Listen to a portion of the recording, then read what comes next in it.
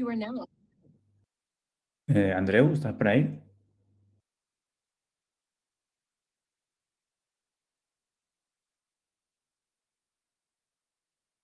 Sí, sí, estoy por aquí.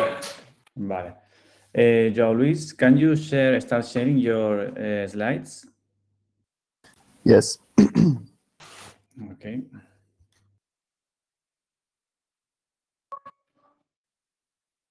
Is it working? Yes, it's working. Just let me do something. Oops. Now you see us. Okay, very good. I see people in the room.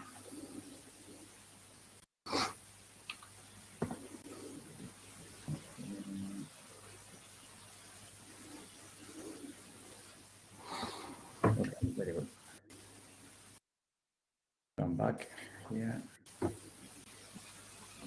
Okay, so we, we still have two minutes before starting.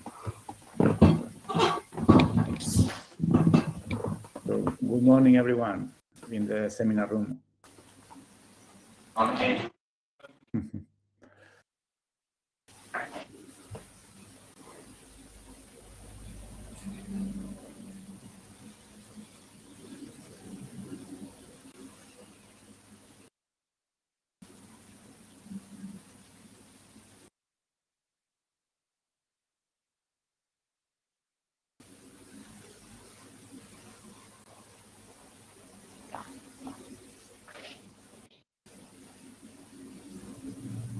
Mm-hmm.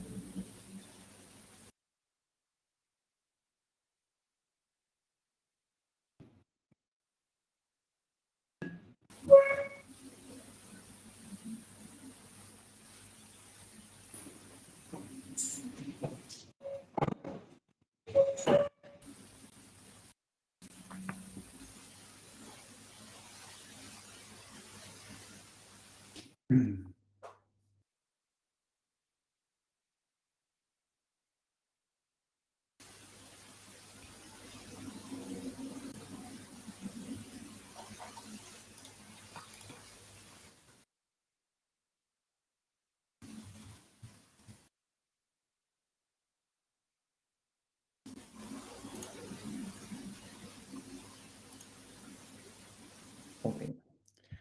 So, Luis, if you are ready, can you share your, your camera so we can see you? Yes. Thank you.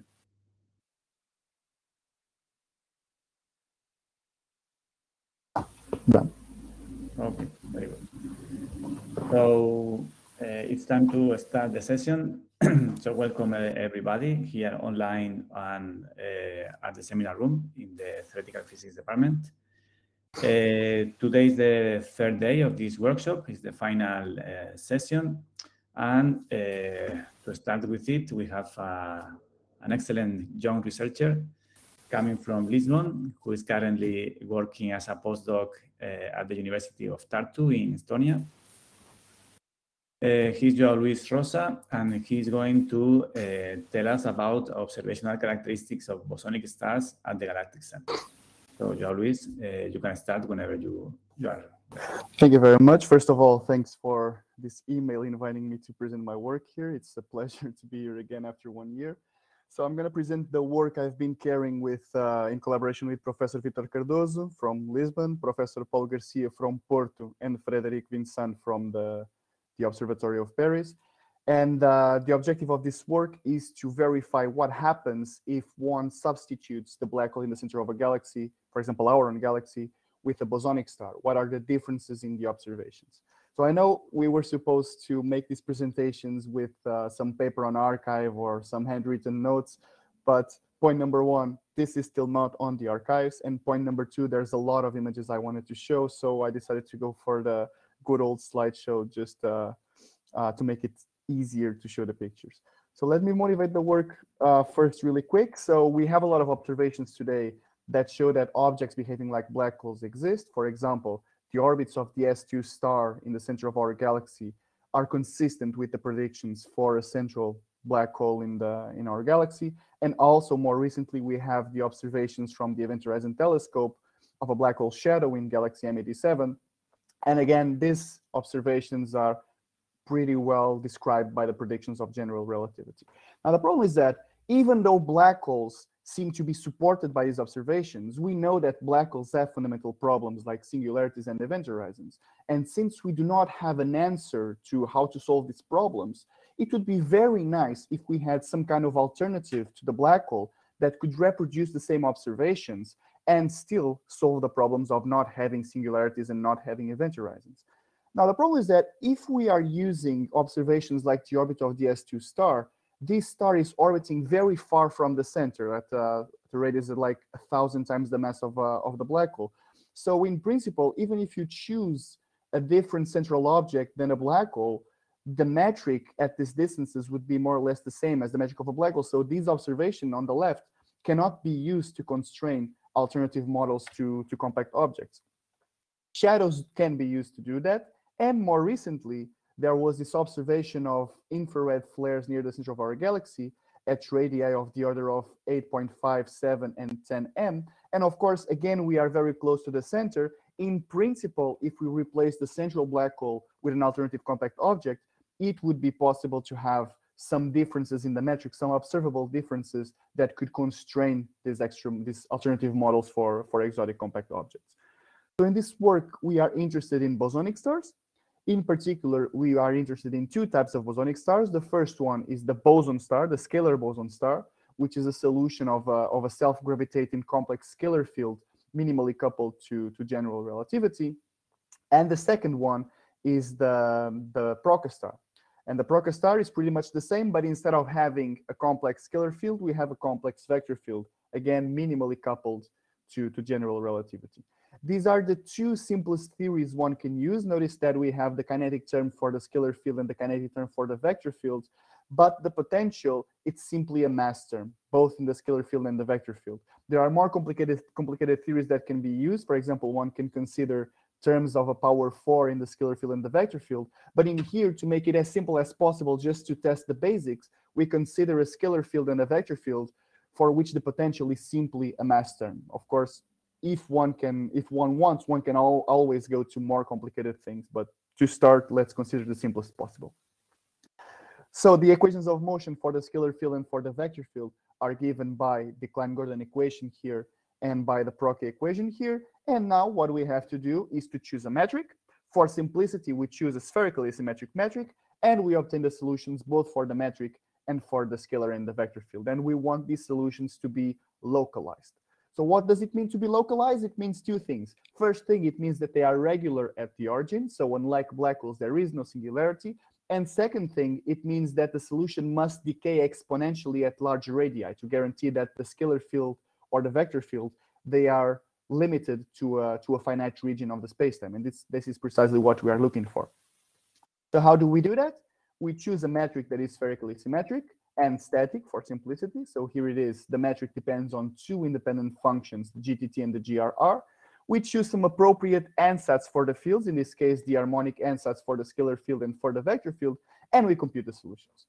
Now, the field equations and the equations for the scalar field and the vector field, so the Klein-Gordon and the Proca equations, they will be a system of coupled differential equations. So when you solve for the vector field or you solve for the scalar field, you are at the same time solving for the metric, for the two components of the metric, GTT and the GRR. So when you find your solution, you have everything you need to start uh, making comparisons with the black hole case. So let me show you first the solutions for the scalar field and the vector field. Here on the left, we have the solutions for the scalar field. So this uh, parameter gamma is the density of the scalar field and gamma zero is the central density. And we see that depending on the central density that you choose, the central density is a free parameter.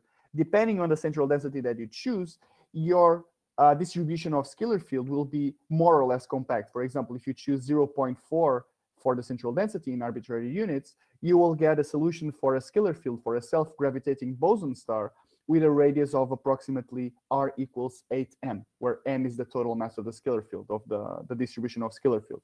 But if you choose, for example, gamma 0, the central density equals 0.12 in the same units, you will find a solution with a radius of more or less r equals 20m. So depending on the central density you choose, you will have more or less compact scalar, uh, scalar boson stars and vector boson stars. The solution for uh, the time component of the vector field is pretty much the same qualitatively, and the solution for the, uh, the radial component of the vector field is also very similar, but it goes like this. So again, this F0 corresponds to the density, the central density of the vector field. And again, for different values of the central central density, you will have solutions for the vector field with different compactnesses. So you can basically choose the radius and the mass, the compactness of your boson star or your vector boson star, your Procas star, just by tuning the value of the central density of the scalar field, and then you can start making comparisons. So let me show you what happens to the metric. So in here on the left, we have the GTT and the GRR component of the metric in comparison to the black hole. So this thin black line corresponds to the black hole solution. And as you can see, these solutions are regular. They do not diverge, diverge at the origin like it happens for the black hole. They are always finite. And depending, again, on the value you choose for the central density of the scalar field, you will have a different central value for, for the GTT. And uh, at some radius, these solutions become pretty much indistinguishable from the, the black hole. And this is what I was telling before. If you are very far from the center, it doesn't matter if you choose a boson star or a Procas star or a, or a black hole, the solutions will be more or less the same. So if you want to test if this object can be a boson star or a Procas star, you will have to go to distances closer to the center where, for example, you can study shadows or these infrared, flares. This, is, this was the point I was telling you before. For the Procas star, well, the situation is more or less the same. All the solutions are regular all the way up to the center. There's no uh, singularity. And again, we see that for uh, radii larger than a certain value, these solutions become virtually indistinguishable from, from black holes, which is exactly what we want. So now we can start making comparisons. And there are many things we can compare with observations. I am working with Paulo Garcia and Frederic Vincent. They are members of the Gravity Collaboration. The Gravity is an instrument of the European Southern Observatory in Chile. And uh, what we are doing, or what they are doing actually, because I'm not part of the collaboration yet, what they are doing is to observe the center of our galaxy and taking uh, different kinds of observations. One of the observations they do is, for example, for the orbital period, they do magnitudes, they do centroids of the observation, etc., etc. So our objective here is to try to find what would be the observation characteristics of uh, gravity if in the center of the our galaxy there was a boson star or Procas star instead of a black hole. And then afterwards we can make this comparison with the observations. So the first thing we want to, to compare with the experiments is the orbital motion. So first of all, uh, I have here a plot of the orbital uh, orbital velocity of an object going around the central boson star. And on the bottom plot, I have the, um, the differences in the orbital periods normalized to the orbital period of the Schwarzschild black hole, again, for boson stars with different radii.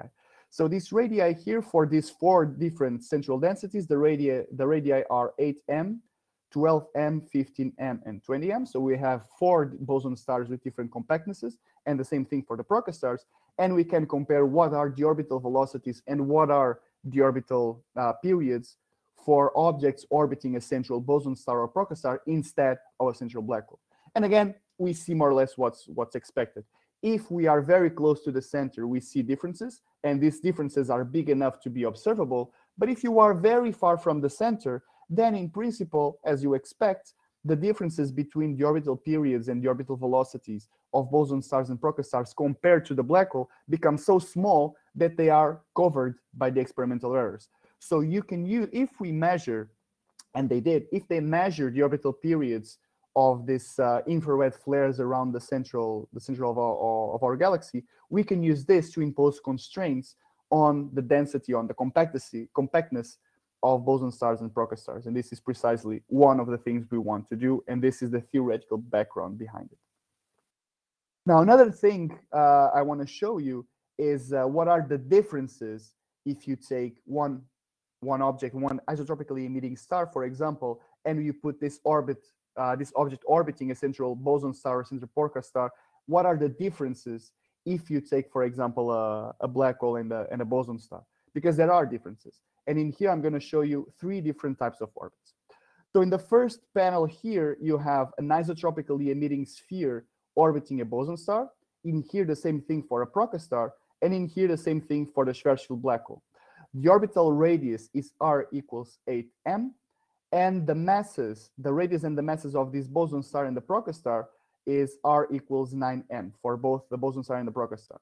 I choose r equals 9m not arbitrarily because uh, r equals 9m corresponds to the boson star that is the most compact possible without becoming unstable. So the most compact boson star you can have that is still stable against perturbations is the boson star with a radius r equals 9m.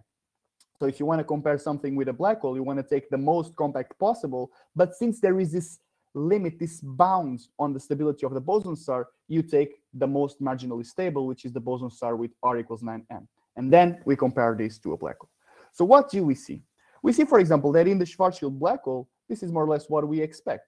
So the boson star, this isotropically emitting sphere, is orbiting around a central black hole. We are observing this from an angle of about 80 degrees with respect to the uh, to the vertical axis, and we see that when this star goes behind the black hole, the star gets distorted. The primary image gets distorted. There is a secondary image appearing, and finally, this image disappears when the star comes again into the front of the um, of the of the black hole. Now, what happens if the object is a boson star or a Proca star instead of a black hole? There are many differences. Like there's differences in the shape of the images. There's differences in the angular um, uh, in the angular deflection. But the most important difference is the appearance of a third image. Notice how in the Schwarzschild black hole you have a primary image and a secondary image, and that's all. But if you take, for example, the Proca star, let's take the Proca star here. When the star goes behind the Proca star, you get the primary image distorted as predicted.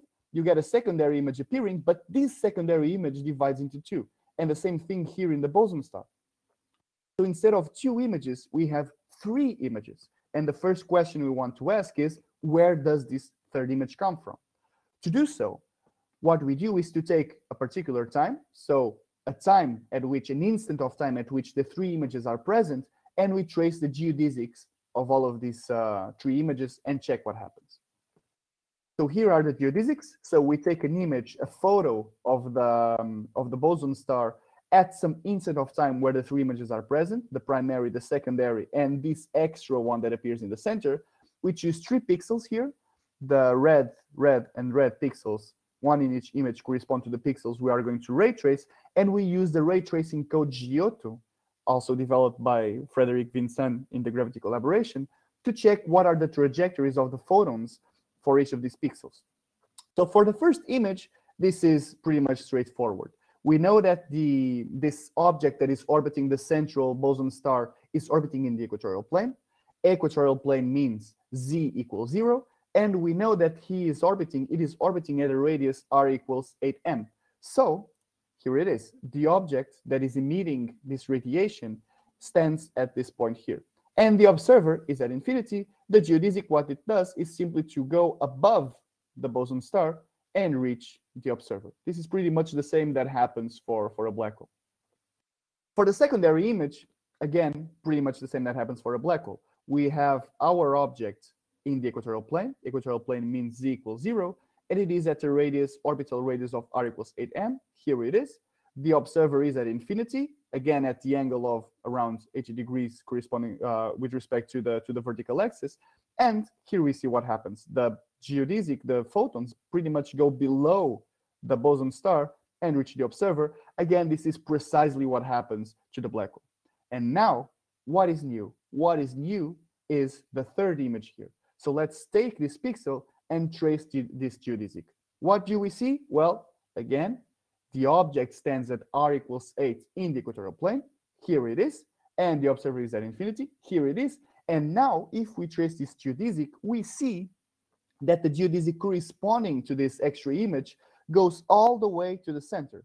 So this uh, horizontal axis, I should have said this when I started showing the images. I said that the vertical one is the the, is the z, but I didn't say what the what the horizontal one is. The horizontal one is the radius, so the distance to the center. So if you check this third geodesic, you see that the geodesic goes all the way down to zero radius. So the geodesic is crossing through the interior of the boson star. And now we understand why we do not see this uh, this image in the in the in the case of a black hole because any geodesic that crosses this close to the center gets trapped inside the event horizon. So this image does not appear in black holes, but it does appear in boson stars and Proca stars because, as I said at the beginning, they do not have event horizons. So it is possible that photons crossing through the interior of the boson star reach the observer, and this causes the appearance of this third image, which is pretty much the biggest difference in the observations between these three objects that I that I've shown you before.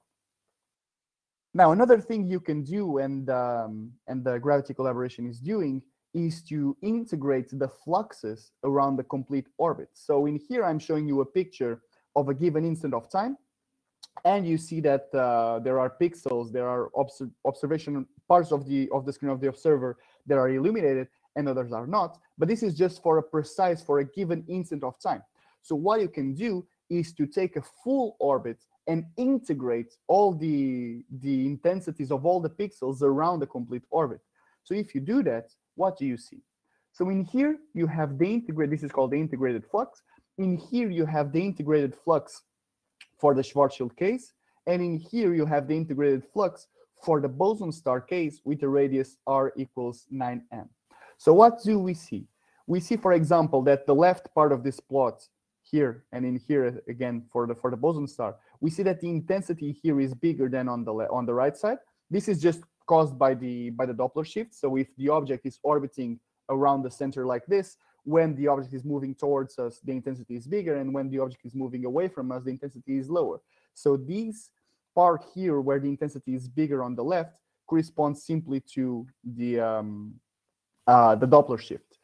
And uh, we can see that these images are pretty much the same for the boson star, for the most compact boson star, and for the Schwarzschild black hole. The only difference is that there is this extra horizontal line here in the boson star that you do not see in the Schwarzschild black hole, and this is caused by the third image crossing the center of the, the observer's screen, as I showed you before. Now, what happens if you change the mass or the radius of this boson star? Well, this, this is what happens. So if you increase the radius of the boson star. So if you decrease the compactity, uh, the compactness of the boson star, this is what happens. So in here we have boson stars which radius equals 9m, 12m, 15m, and 20m. And as we expect more or less, as you increase the radius of the boson star, so you decrease the compactness of the boson star, the deflection angles are smaller and smaller, and eventually it reaches to a point where the secondary image doesn't even appear. So if you can compute, if you can observe um, the integrated fluxes from the, the center of our galaxy caused by these infrared flares, and you can compare this with, uh, with our predictions, you can effectively impose constraints on the radius of the boson star if it is possible at all that uh, the object is a boson star. One more thing that can be observed is the magnitude and the centroid of the observations. So the magnitude is simply at a given instant of time, the sum of all the fluxes in all the pixels, and the centroid is the geometric center in your image of all the pixels that have some flux. So this is what we observe. Again, this is for the boson star, the most compact one, the boson star with radius equals 9m. We have four different observation angles, 20 degrees, 50, 80, and 90. On the top panel, we have the magnitudes, and on the bottom panel, we have the centroids. So what happens here? Um, you let's start with the centroids because I think it's more it's easier to understand the magnitudes if we look at the centroids first.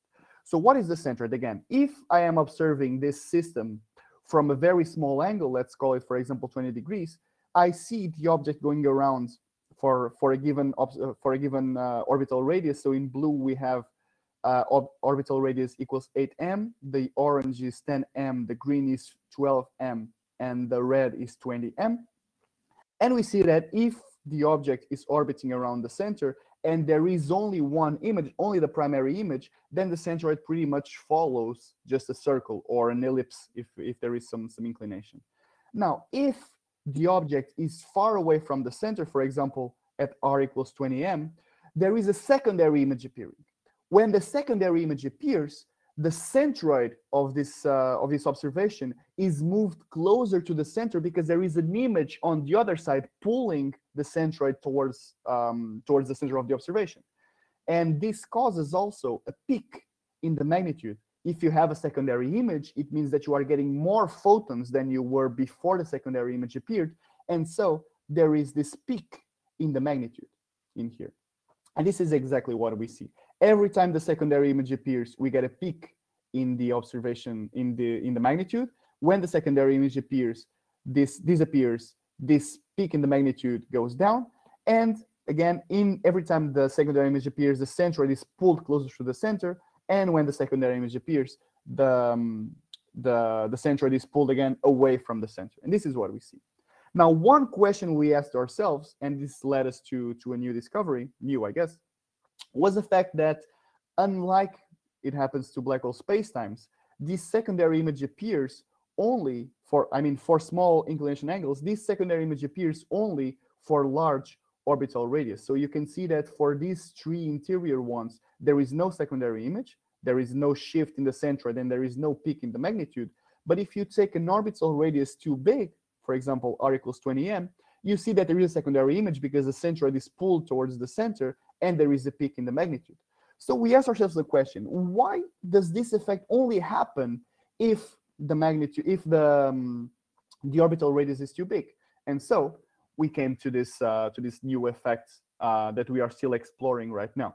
So if you take, for example, a Schwarzschild black hole, you can see that if you take the, the, the equatorial plane, so here in z equals zero, you can see that for any point in the equatorial plane that is further away from the center than the light ring, you can always find a geodesic that takes that projects that point into the screen of the observer, which is right here.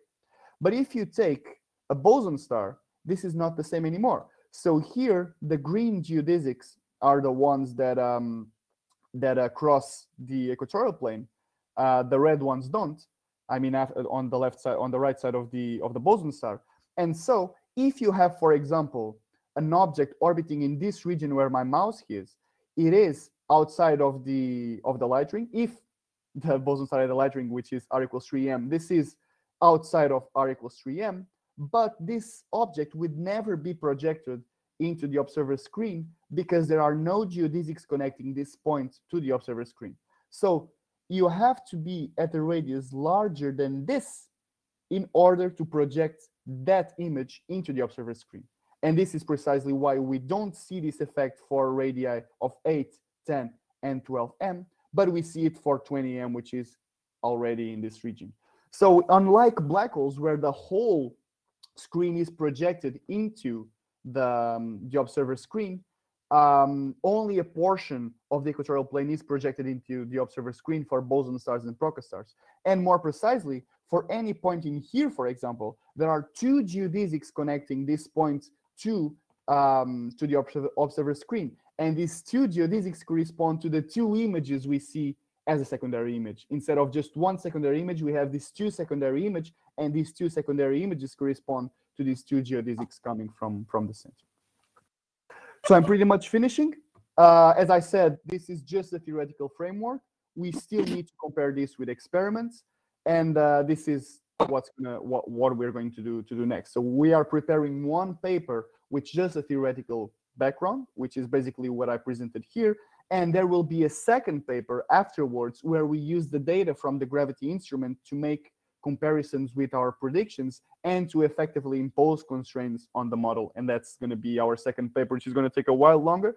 The first one we hope to submit uh, before the end of the year, at most in January. The second one will require a few more months, but as I said, this is still ongoing work, and um, and I think it's uh, it's a very interesting possibility to to study a bosonic star at the Galactic Center.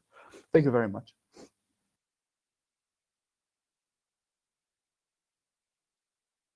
Yeah, okay, uh, thank you, Joao. Uh, I don't know if uh, there is uh, any question in the room uh, or the chat.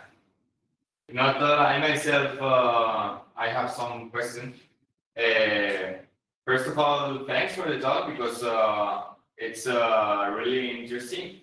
And uh, I just wanted to, if you can comment a little bit on how did you get those images? I mean, the the numerical or, or the formalism for when you're were comparing the the the Schwarzschild and the program boson star You mean these ones?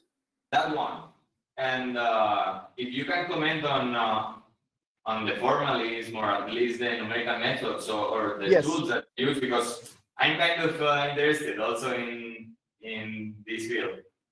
Yes. Okay. So about the solutions for for boson stars, these solutions they are obtained numerically because the system you obtain when you take the equations of motion for uh, the Einstein-Proca or the Einstein-Klein-Gordon theory coupled to the um, the Klein-Gordon equation and the Proca equation, the system is very complicated. So we solve them numerically. These solutions here uh, for the boson star and for the Proca stars, they are both obtained numerically. Now, um, to produce these uh, these images, we use the the, um, the ray tracing software GYOTO, the one that was developed by Frederic Vincent and collaborators at the Observatory of Paris. We use this software. Now the thing is that for you to use this software, you need to input a metric or well, a metric in general, or metric and Christoffel symbols, not just the metric, the metric and the Christoffel symbols, they must be imposed analytically. So you need to make an expression and to input this expression into the code. So since our solutions were numerical, what we did was to uh, to make an analytical fit of the numerical solutions. This analytical fit, it is um, it has errors always smaller than one percent, and uh, the average error from r equals zero to r equals 20, 30, 50 m it's of the order of 0.1%. So these these fits are very well described. They describe very well the, the numerical solutions. So I think we can be confident that they they work. So we make the the analytical fits. We introduce the, the analytical fits into the GYOTO software, and we make the ray tracing. Now the GYOTO software not only produces, um, not only does the ray tracing and uh, and computes the geodesics and etc. It can also simulate a lot of a lot of different things. And one of the things that is that is already implemented and you can use is to simulate the orbit of a star around some center, and the orbit of a star um, around some some object, some metric, or some star moving in some metric. And this is what we did. We took a star, an isotropically emitting star with a radius r equals 0.5 m, uh, where the m is the um, the mass of the central object, and we used the simulation to to make this star orbit the central boson star and Proca star. And then what the GYOTO GYOTO software does is to compute the geodesics, project the geodesics onto the observer screen, and produce these images. So these videos, they are not really videos. what they are is like a, a sequence of all the images produced by the uh, by the GYOTO software for different time instants. And this is how we produce this um, this this videos. So just to summarize, solutions are numerical. We make an analytical fit of these numerical solutions. We implement this fit in the GYOTO software, and we use the simulation of a star orbiting the center, which is already implemented in the in the software. Okay, thank you, thank you. I see how powerful is uh, is this tool. Maybe will- you will uh, error me in uh, in due time, and I'm uh, looking forward for your for your paper. Thank you. I don't know if uh, it's uh, any question else. If thanks, uh, Luis again. Thank you.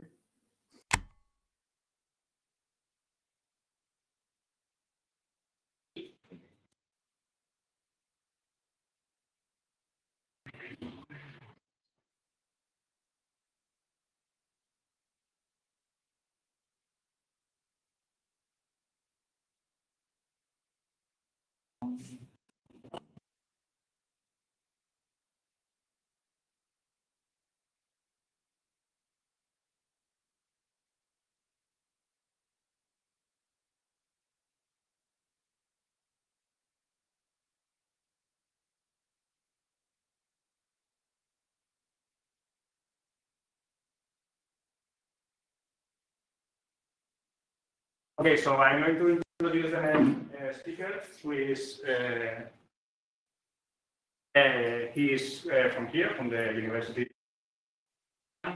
He's going to talk us about uh, stuff and the. Okay, so thank you, Paul, for your introduction. and that I'm going to give you some insights of uh, a long journey that is uh, working on uh, aspects in uh, in modified gravity. I will start. Uh, uh, okay, I will present you a recent a recent work that we will publish.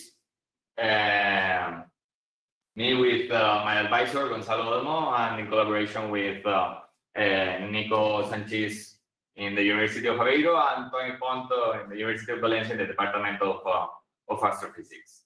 So starting uh, as uh, lots of uh, papers on gravitational phenomena lately.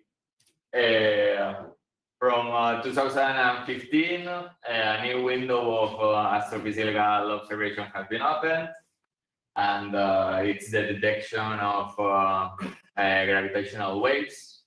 So the LIGO Virgo uh, collaboration is uh, providing us with uh, with uh, crucial information about uh, uh, about the density distribution of of black holes on in general on compact objects. There is some some tension between our own knowledge, theoretical knowledge of uh, stellar evolution and black hole evolution, and uh, the observations. Uh, as we can see, there is uh, the, the distribution of uh, black holes detected by gravitational waves are has larger masses than ones detected inferred from from electromagnetic observations. Also, there are some objects that are starting to populate the gap uh, between uh, heavy neutron stars and and uh, and light black holes. And there is one merger whose progenitors are inside the instability supernovae. Um, all of this uh, motivates us to to think uh, that uh, our our theoretical models of uh, stellar evolution, mergers of black hole evolutions are not well defined, and also uh, raises questions about uh, the nature itself of these kind of objects. That's where appears the exotic uh, compact objects. Uh, among, among these ones, boson stars play a, prominent role, and uh, João uh, Luis uh, explained uh, just some minutes before. It's really powerful uh, what this kind of of objects can explain, or or that, yeah. Okay, so what is a boson star? Boson star is a gravitationally bound uh, configuration of uh, bosonic particles uh, coupled to gravity, which uh, constituent boson is uh, an uh, oscillation, oscillating uh, complex uh, scalar field. So, as in for a white dwarf, the electron degeneracy prevents the gravitational collapse. In in a neutron star, is the Pauli principle what prevents what prevents uh, gravitational collapse. Uh, here is the Heisenberg uncertainty principle what what prevents the, the gravitational collapse. Boson stars ranges uh, uh, wide. Uh, there is a wider range of uh, masses that uh, can have from atomic masses to to astrophysical masses, and uh, its mass depends on the mass of the uh, constituent uh, boson. It has an inverse uh, uh, relation, and if you want to provide, if you want to have a, ma- a, a, boson star of one solar mass, for example, you have to provide an ultralight, uh, ultralight uh, boson. These objects are uh, horizonless, and uh, here I plotted uh, how it's the distribution of the masses of a boson star is uh, uh, in front of uh, the density of a scalar field at the center, and we expect also to uh, the frequency of the constituent uh, boson. As you can see, uh, there is a range of allowed uh, frequencies, and uh, it has this uh, really, uh, uh, it has this uh, specific uh, shape of uh, spiral that uh, uh, it's really uh, uh, proprio of the this boson star. Okay, and here I included also the the the radial profile of the scalar field, and as you can see, this object has not a definite surface. A lot of works have been done on boson stars, uh, on uh, stability, evolution, formation, minerals, rotation. So it uh, this these works will be also useful for the work that we are going to carry out that is working with this, but in modified way. Okay, so having these uh, exotic uh, compact uh, objects brings the possibility of studying gravity a, in a strong field uh, regime, and also that uh, they don't have an, a horizon uh, can uh, potentially give us insights on how to extend uh, gravity. So, uh, by having the possibility of using uh, any kind of uh, of uh, modified gravity theory, we are using uh, f of r because it gives us a lot of uh, freedom while keeping the equations in uh, in an acceptable range of uh, simplicity.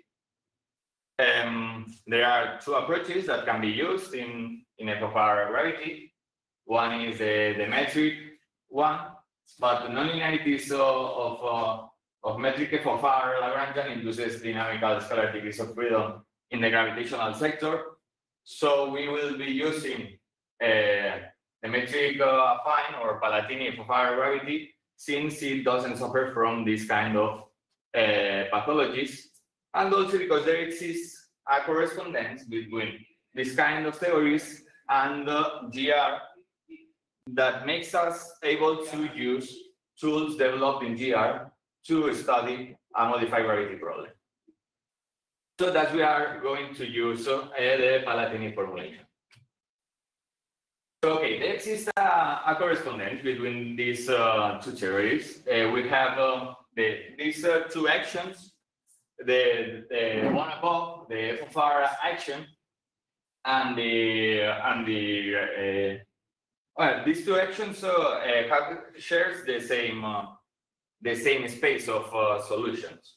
So uh, we can uh, translate a problem uh, located in a f(R) uh, theory to a problem located in GR. The only thing that we need to to uh, to pay attention to do this uh, translation is that the matrix sectors will be transformed in this way.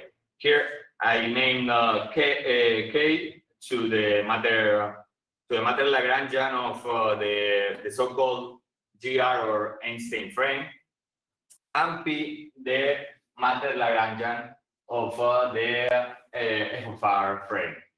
And also there uh, this this correspondence has a correspondence in and this correspondence in actions has a correspondence in in the metrics of each one of the frames that are related uh, as a with a conformal factor and uh, here uh, x and z is just the the kin- kinematic uh, term of the matter Lagrangian.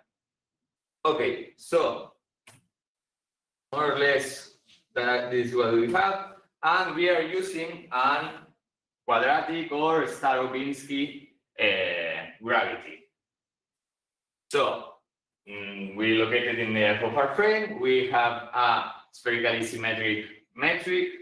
We have the matter Lagrangian that uh, normally one puts if one if you want to have a boson star.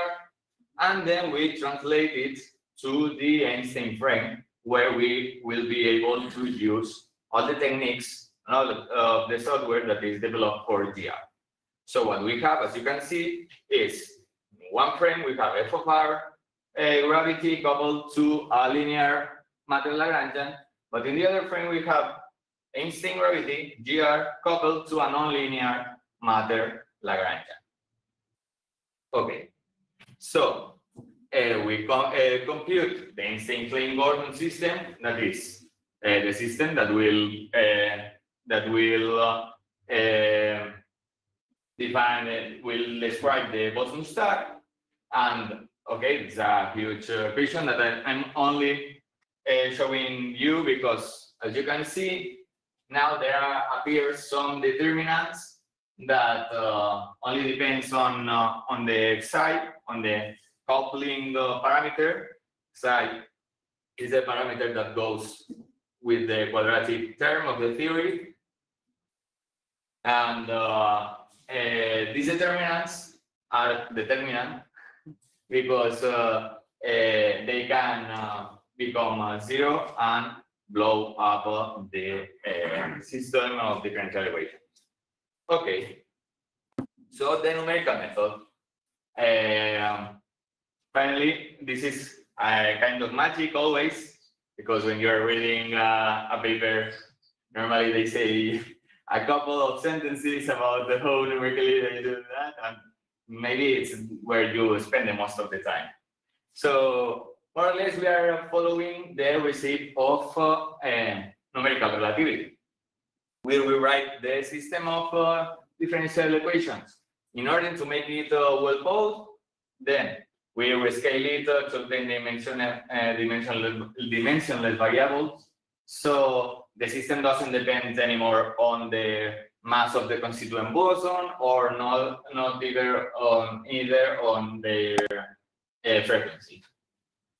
So then what we have to do is to establish a boundary condition in the f(R) frame, and we translate them to the GR frame, and uh, and impose them. Uh, the only thing that uh, what we are imposing is uh, regularity at the origin and uh, asymptotic uh, flatness. Then we choose a value of the coupling and we use a Runge-Kutta with a, a shooting method. That is, if you are looking at the boundary conditions, we have two, two numbers that we have to choose, phi and alpha. So we choose a phi, and then we use a shooting method that is looking at alphas to look at the one alpha that uh, accomplishes the boundary conditions. So uh, if you want to reproduce that and you look in, in internet for a shooting method with a Runge-Kutta, for sure, there are lots of them. So, okay. Then we have some output from the computation. We have some results. And here I, uh, I plotted uh, results for different values of the of the theory, for different values of the, the coupling, the gravitational coupling. And the uh, first thing that you can see is that uh, for small values of uh, the scalar density, scalar field density, it doesn't differ much from GR.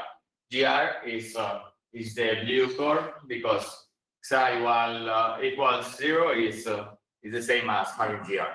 So we need a higher scalar field density to notice some differences, and also we can see that uh, for example, in GR, we cannot see the end of the course. Uh, this spiral is supposed to continue. But in uh, f(R), we see that uh, this course ends in a point. Ends in a point where uh, the determinant that I previously mentioned uh, goes to zero, and uh, there is not possible to to compute more more solutions. Okay, so uh, negative uh, coupling generates uh, a repulsive gravitational component when scalar field density is high enough, so larger numbers of particles can be sustained, then a larger boson star masses are observed, as we can see in uh, in the in the plots. Also, here we see that uh, the spiraling behavior is uh, is lost, even from psi equals minus zero, uh, 0.05 uh, starts a one-to-one relation between boson star masses and frequencies. And uh, what I mentioned before, these dots are, are just uh, showing the last computable uh, configurations since the conformal factor uh, goes to zero and this conformal factor is the determinant. So uh, there is no possibility of computing more, more solutions. Here uh, I plotted uh, also this uh, conformal factor. As you can see, we are approaching this last point. Uh, conformal factor uh, grows rapidly, and the relation between the metrics uh, of uh, both uh, of uh, both frames uh, has this uh, this uh, shape, and uh, it reminds us a little bit to what happens in uh, scalar fields in uh, and Palatini f(R) gravity uh, when happening when uh, uh, wormholes are on. These are not wormholes, but it's like um, it's like it's really similar. So okay, we cannot say that we are having uh, wormholes or that we cannot compute more uh, solutions because there are having wormholes but uh, further work has to be done in that direction because it's it, it really looks similar. The other side, we have the results in the for the positive uh, for the positive uh, parameter of uh, uh, gravitational coupling parameter. So uh, this uh, this uh, positive coupling contributes to gravitational attraction when star velocity is high enough. So less mass can be supported. As you see, masses are a little bit lower. Uh, the behavior more or less is the same, but uh, there's a tighter spiral. And uh, again, dots show that uh, the last uh, computer configuration, since conformal factor goes to zero, and uh, it's not possible to compute more solution again. Again, what we are uh, here, the the radial profiles shows us again some behavior that makes us think about wormholes.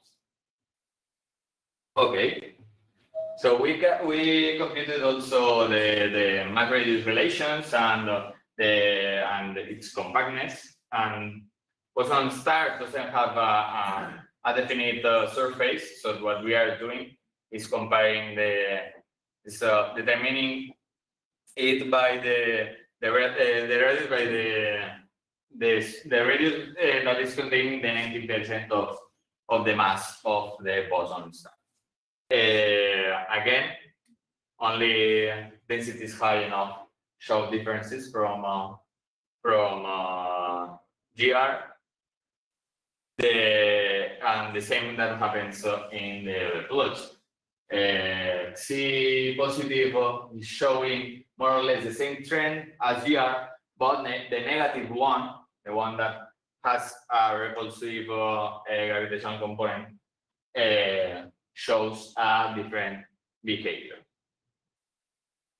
We added self uh, interaction to the potential, and uh, what we see is that adding uh, self self interactions just uh, makes uh, uh, makes differences even harder to, to notice. When higher is the self interaction, it's more difficult to uh, notice differences. So, okay, more or less that's all. Just uh, to give you some uh, final remarks and to sum up, uh, it is possible to translate the gravity coupled to a linear matter Lagrangian to a GR coupled to a nonlinear matter Lagrangian. Uh, there, there can exist static solutions of boson stars in uh, Palatini quadratic f(R) gravity. Uh, as we can say, uh, as we can, as we uh, saw, a shorter range of uh, scalar field amplitudes uh, are allowed for f(R) boson stars. Uh, new uh, features arise uh, when the gravitational coupling is negative. So we have lost this spiral behavior. Also, the compactness is uh, is uh, different. We see. We see that the compactness blows also away and goes to to uh, asymptotic infinity. These results are valid for uh, Palatini f(R) boson stars, but also they are uh, they are uh, the same uh, results for GR coupled to a non non to an unconventional matter Lagrangian. Uh, they are equivalent. So f(R) boson stars do not differ significantly from uh, GR boson stars and depend on the magnitude of the, the gravitational coupling and are indistinguishable for small uh, uh, scalar field densities. Uh, certain interactions in the scalar field potential enlarges the degeneracy existing between f(R) boson stars and GR boson stars, and the deformation relation between the areas of the f(R) and GR frames reminds the behavior of wormholes, even though uh, further work has to be done to shine a light on this topic. So that's all, and thank you.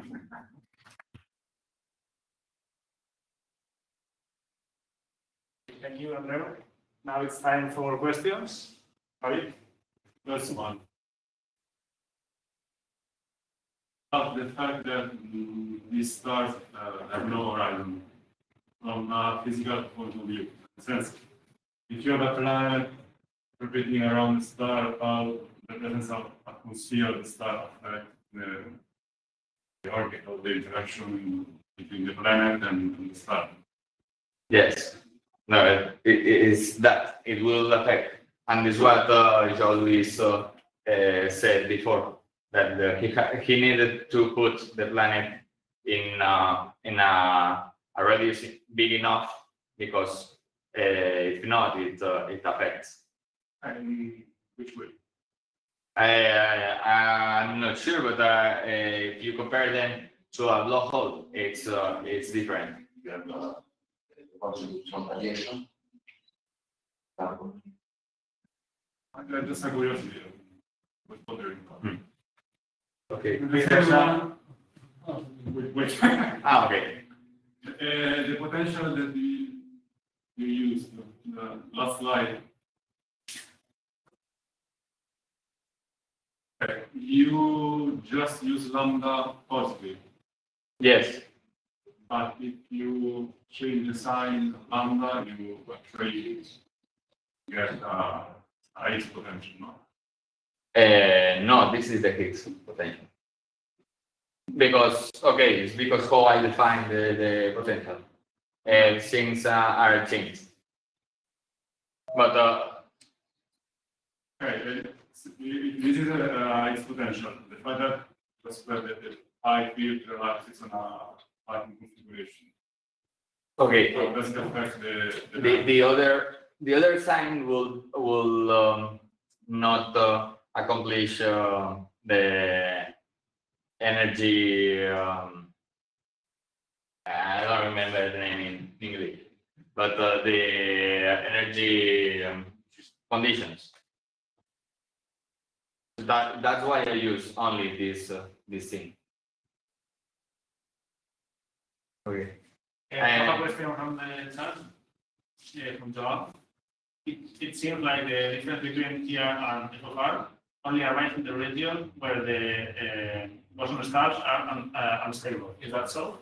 Uh, yes, it seems that uh, that's what happens, uh, but also, okay, that depends on the on the magnitude of the coupling gravitational parameter.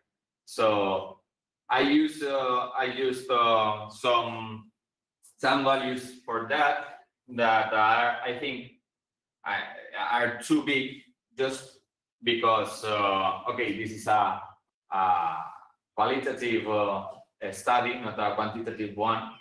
Uh, and that, and you can make it uh, even uh, bigger. You can uh, give some uh, bigger uh, size, and you will have these differences before. in the in the stable in the stable uh, range. So is there any other? Yeah. If I understand correctly, the, the fact that the curves end at some point is due to the fact that the conformal factor vanishes and your equations become singular. Yeah. So in principle, you could go beyond that point, doing the integration in the original frame without performing any conformal transformation. The thing is that uh, you cannot do the integration on the uh, original frame because uh, okay, you won't have these uh, these uh, equations. You will you will have uh, another ones more complicated. You even will have more equations. So it's uh, it's not uh, just like that. That that's why I say that we have uh, we computed solutions just to that point, and we don't know what happens after that because there, there might be more solutions, but we, we don't know using this, this formalism, because they, we need to do more work in order to know what happens after that density. So it's more complicated, but in principle, Yes, you. Yeah. do. yes, It's a curiosity, but it, it, it's a, it's a curiosity between these two talks uh, uh, of this morning. So, uh, Joao proposed to uh, mimic the properties of a supermassive black hole with a bosonic star. Then, uh, one of the first slides that you have presented, uh, you said that the, the mass, the total mass of the bosonic star depends, inversely depends on the, on the mass of the, of the constituent boson. No? Yeah. So, in order to obtain a, a supermassive black hole, one would have to require a infinitesimal mass for the boson. yes. Do this uh, request is supported by particle physics, I don't know. Yeah. Ask, uh, Whatever you Yeah, want. yeah, yeah, yes.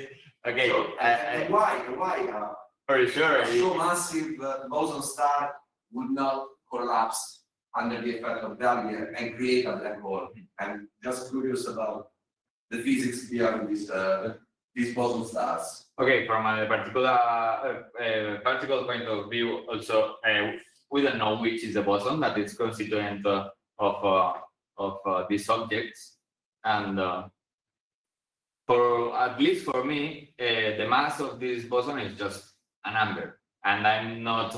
I, I, I don't know if there is a lot of science uh, behind of that. Uh, that uh, that I, I I'm not an expert uh, on that, so Yeah, maybe. particle maybe it's a- physicists will will will see. It's a question for, for particle physicists. Yeah, exactly, completely. Completely. Okay. Okay. So, question? No? Uh, so let's turn on the again.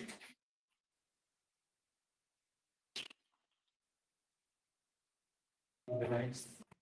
Okay, I, I will present the, the next. Ah. Es, es, era este de aquí.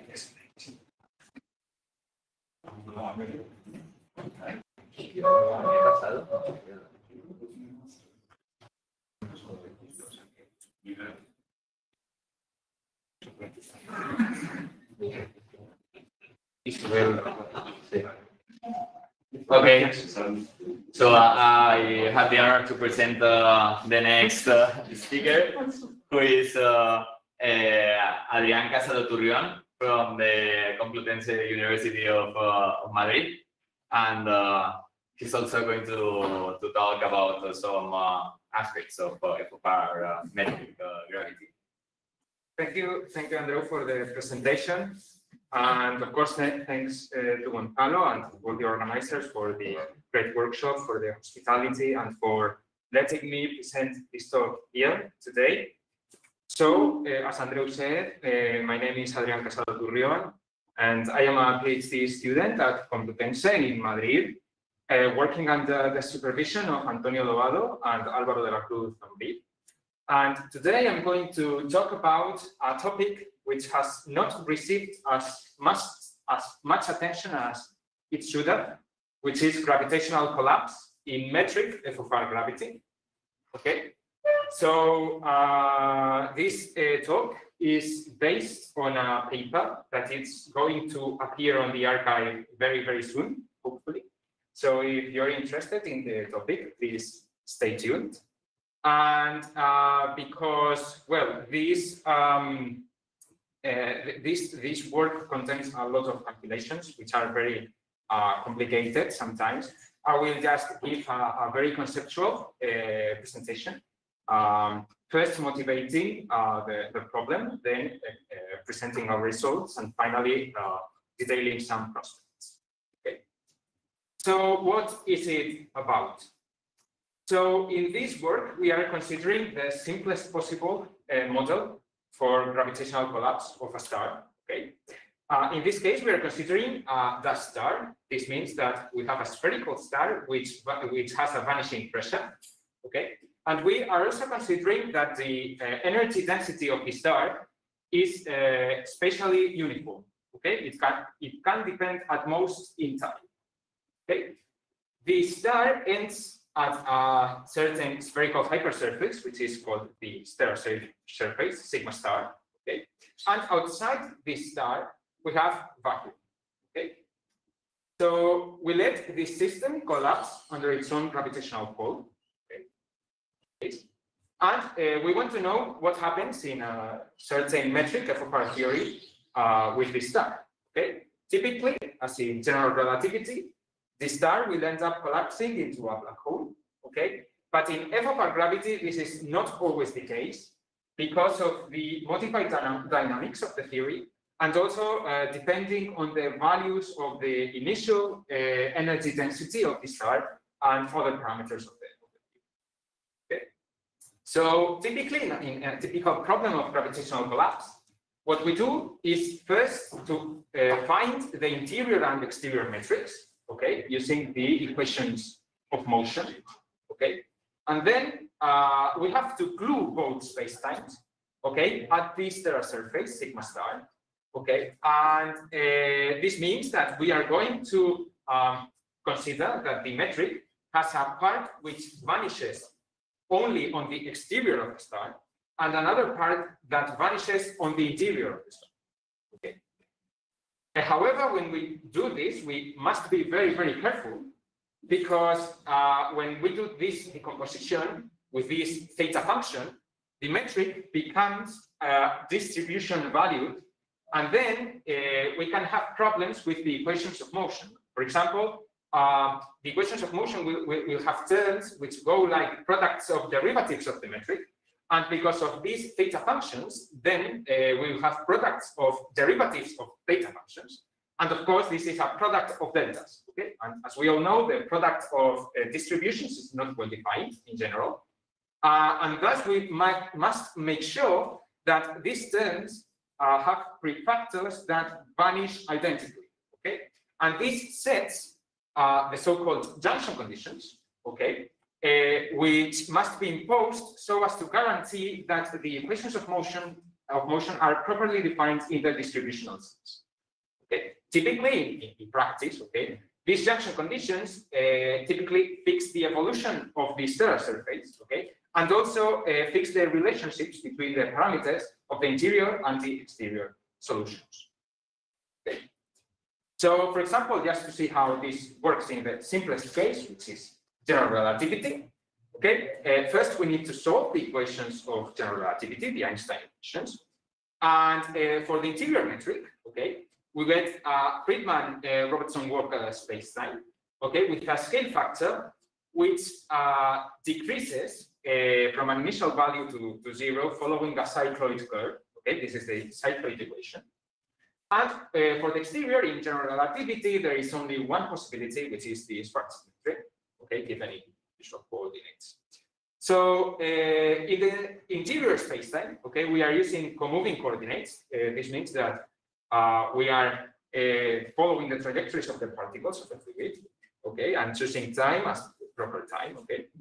And because the coordinates are moving, okay, the stellar surface in these uh, interior coordinates will be simply given by a certain constant value of the moving radius that we call G star. Okay. Uh, however, in Schwarzschild coordinates, okay, the usual ones, Uh, the star surface is given by two functions, t star of tau and r star of tau. Okay, and why and why why, why is uh, does this uh, happen? Well, because of course the the, the stellar surface is uh, spherically symmetric, so uh, it cannot depend on the angular variables. Okay, and it cannot depend on on heat because he is constant at the stellar surface. So we have that uh, these two relations must must.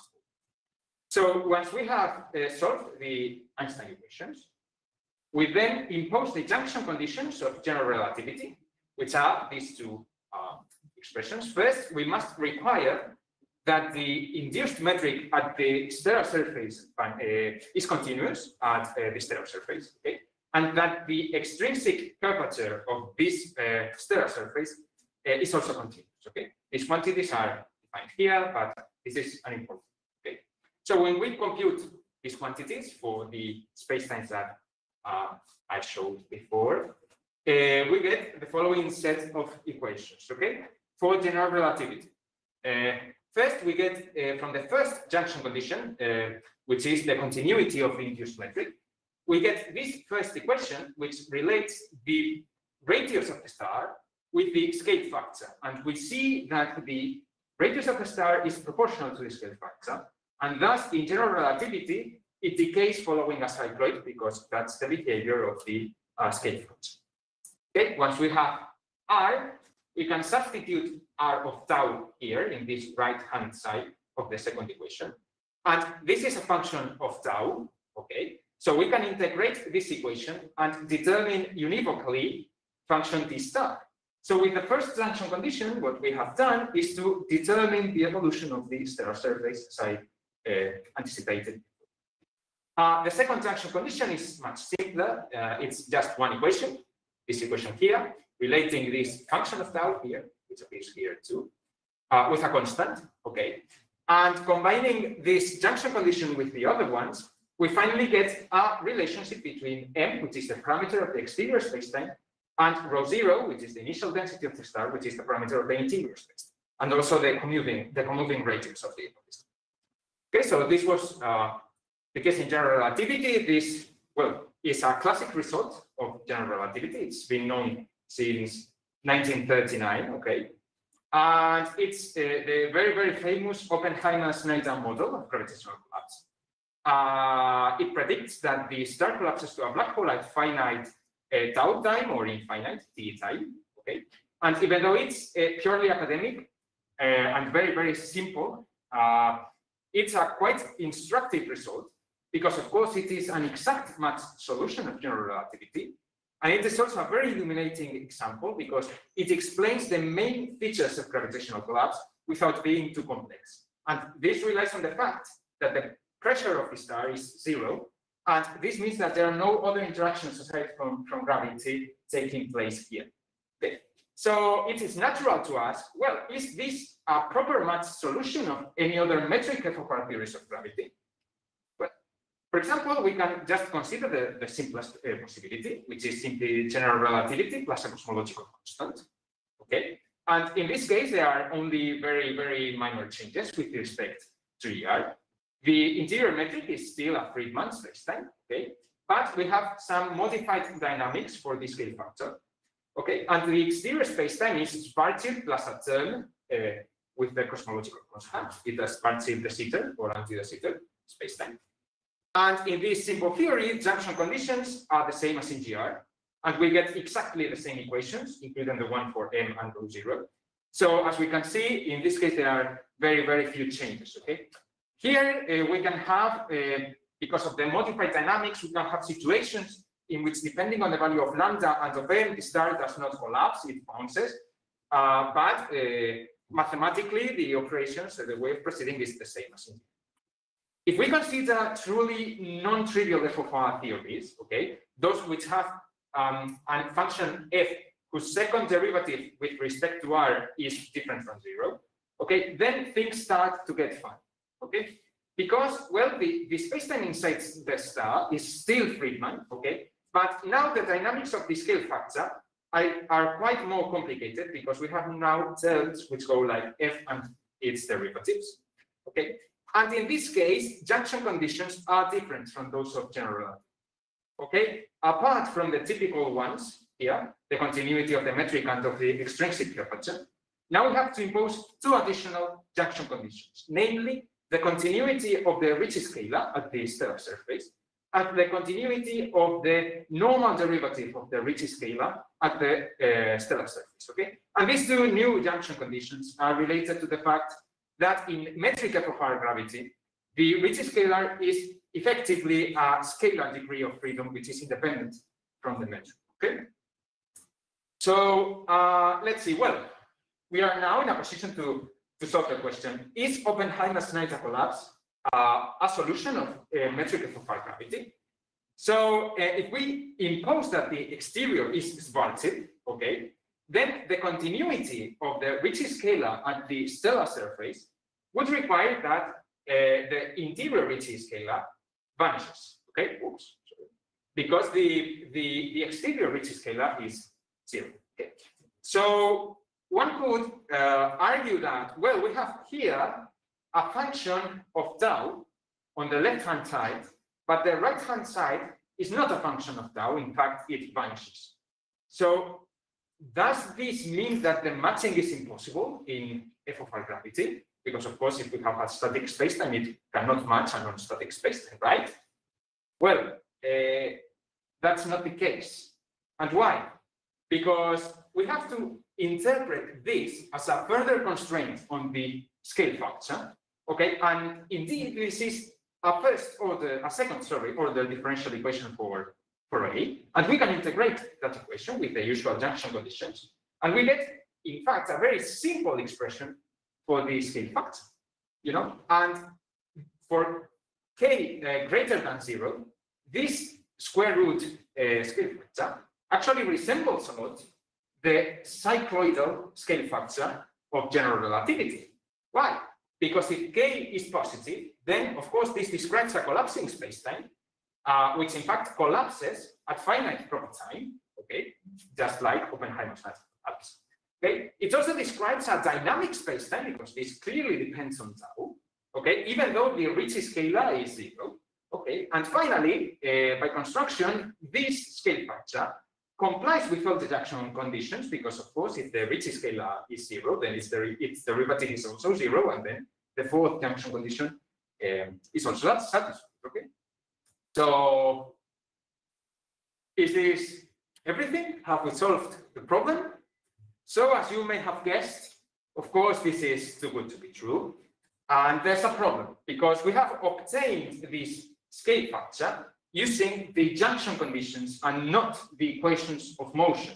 Okay, and if we require in the equations of motion of f of r gravity for any f of r gravity that the uh, Ricci scalar of this uh, Friedmann must be uh, constant, then the equations of motion tell us that the uh, scale factor must be constant and not given by this square root.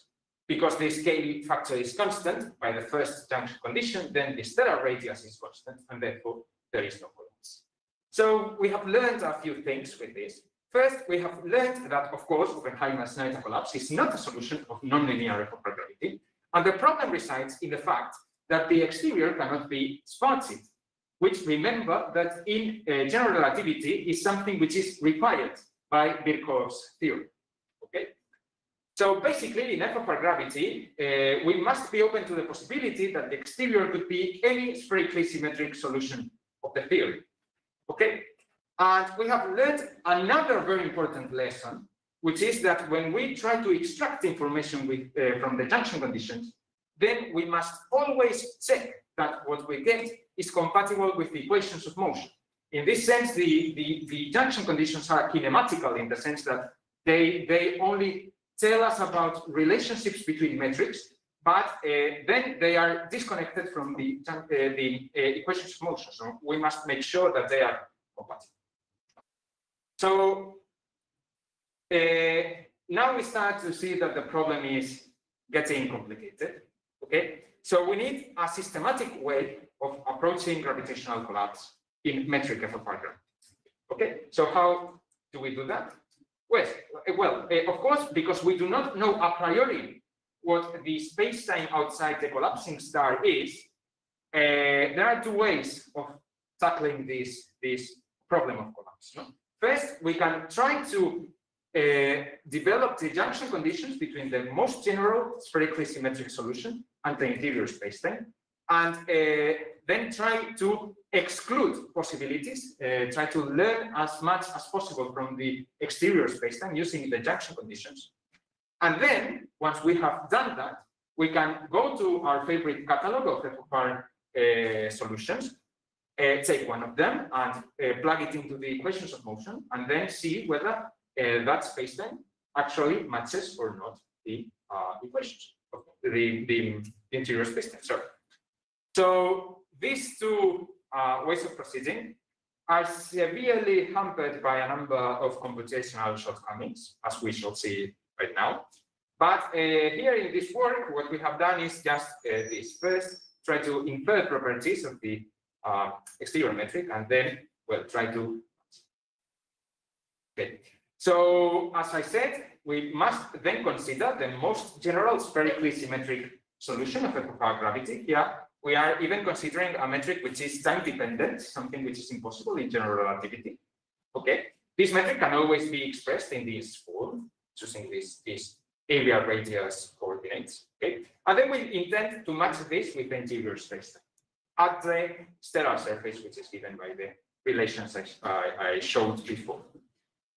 So uh, after working out all the junction conditions, we get the following. First, we get uh, from the first junction condition, we get something very similar to the uh, Oppenheimer-Snyder case. Okay, using these coordinates, which is something very important, uh, we see that the stellar radius again is proportional to the scale function. Okay, and from here we can substitute uh, this R star here, and we integrate this equation to get T star. So basically, the first junction condition works exactly the same as before. It simply determines the evolution of the stellar surface. Okay. Now, the second junction condition is a bit more complicated than before because we now have two equations which are not sati satisfied at the same time uh, in principle. Okay, so something a bit more complicated now. And what about the noble junction conditions when we get two extra uh, constraints on the exterior geometry? Okay, and of course, uh, we must uh, take into account that in principle, both the second and also the third and the fourth junction conditions, in principle, uh, must be used to establish relationships between the parameters of the interior solution, essentially the energy, the initial energy density of the star, with the parameters of the exterior solution. So once we have this set of junction conditions, we can start manipulating them and uh, try to rule out or discard as many uh, classes of exterior spacetime as possible. And this is exactly what, what we do. And we have uh, found a series of, of, results which are very, very interesting uh, because we have been able to constrain the exterior metric quite a, uh, quite a bit. For example, we have found that if your exterior spacetime has a constant Ricci scalar, then it cannot match the interior uh, Friedmann in any f(R) theory of gravity. Okay. We have also found that no static exterior matches the stellar interior. Okay. Uh, which is something unthinkable in, in, in general relativity. Okay. Uh, one can think, well, can I just take Schwarzschild and make the mass time dependent uh, or something like that, some kind of ansatz? Well, the answer is no, you can't, because any exterior spacetime of this form, when you have uh, function a on the tt component and 1 over a in the rr component, is also ruled out by the junction conditions, even if this metric is uh, non-static. okay, so this is also a very, very powerful result. And for example, if you think, well, but I can have a static spacetime, then add uh, a time and R-dependent redshift factor to the T component, and well, that doesn't match either. And of course, there are other forms of, of the exterior metric which are ruled out by the junction condition. So we see that uh, we have obtained that the exterior metric must be time dependent and it must be time dependent in a very, very non-trivial way. Because basically every simple answer one can imagine for the exterior metric is basically ruled out by the junction conditions. And of course, one cannot exclude the possibility uh, that no space-time matches the interior at all. But of course, at this point, we cannot say uh, whether this is true or false. Okay. So, uh, well, basically, uh, every every uh, vacuum exterior vacuum solution of uh, FR5 gravity could be the exterior solution. Uh, and then we can try to see, well, okay, we, we have these constraints. We know which space-times, uh, well, at first sight, we can say this space-time is of the form required by the junction conditions. Okay, so does it match? Okay, the problem is that there are very, very few vacuum solutions, uh, time-dependent vacuum solutions of gravity which are known. Okay, even for very, very simple theories like Starobinsky f(R) gravity. Okay, and uh, known solutions yield very complicated junction conditions, which are very difficult to manipulate analytically. Okay, it is not like in Oppenheimer-Snyder collapse, which is something you can do in half an hour. So uh, if one thinks of uh, attempting to solve the problem numerically, then another problem arises, which I called the problem of parameter determination. Okay, because uh, as you have seen, uh, an integral part of uh, solving a problem of collapse consists in determining relationships between the parameters of the interior solution and the exterior one. For example, when we obtain a relationship between m and rho zero, okay? And uh, it seems uh, difficult to obtain obtain this numerically, okay? This kind of relationships numerically. Okay, so this is also a potential problem if you want to treat this problem uh, and this points out uh, to the necessity of developing some sophisticated techniques in order to beat this. So just uh, to sum up, uh, why is studying gravitational collapse important in f(R) gravity or any other theory of gravity? So uh, gravitational collapse, of course, is a central part of every gravitational theory. Structure formation is done via gravitational collapse, and therefore we must study it. It is important per se. Okay, and uh, in F metric f(R) gravity, as we have seen, it's still poorly understood.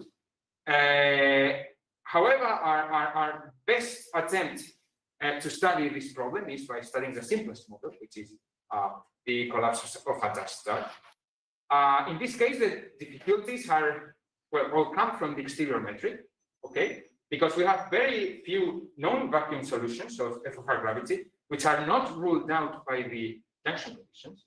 And those who exist and are known to satisfy the, well, to be at least compatible with the junction conditions, uh, give very, very complicated calculations. So as you can see, there's plenty of work to be done in this area. For example, one could try to find exteriors motivated by these junction conditions. Okay, so if you want to have a space-time named after yourself, uh, this is a good opportunity. Okay, and then these new space-times could be used as um, uh, possible exteriors, you know.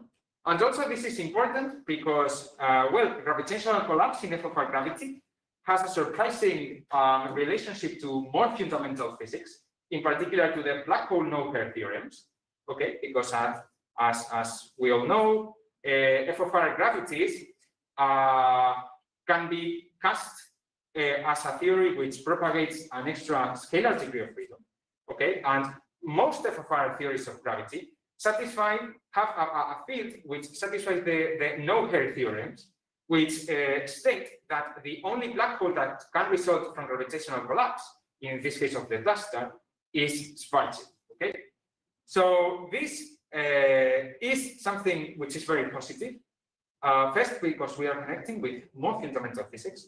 Second, because this could be a guide for discarding exteriors. Okay, because if we work in a theory which satisfies these no-hair theorems, then we know that the exterior spacetime at some point must reduce dynamically to Schwarzschild, okay, because the only black hole that, that can form there is Schwarzschild.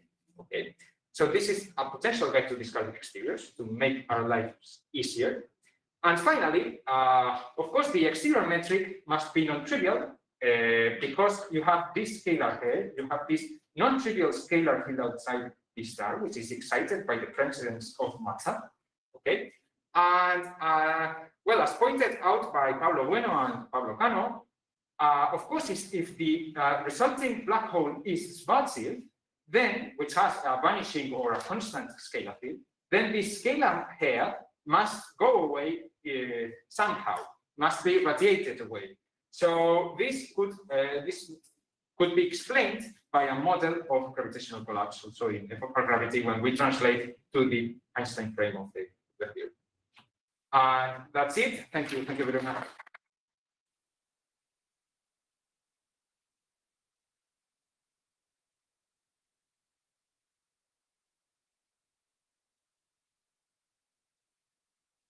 Um, have you thought about implementing this analysis with a Tolman-Bondi metric for describing the last?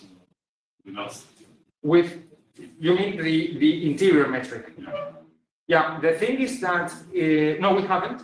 The, the answer is we haven't because if you put uh, this uh, matter source, that is a spherically symmetric and uniform density uh, dust star, then the solution of the interior field equations is pretty not a Tolman. There's no way of sending to like this. It, it could be, but then you would be modifying the matter source. I mean, it would be something a bit more complicated than a uniform density uh, um, dust star. And the thing is that, of course, you, you have seen that even in this simplest case, everything, well, is, is complicated. So introducing more complexity uh, could, could only make the problem worse in principle, in principle. But who knows, you know? Okay. Uh, so if there are no uh, more questions, let's uh, let's just uh, thank. Uh, uh, Thank you.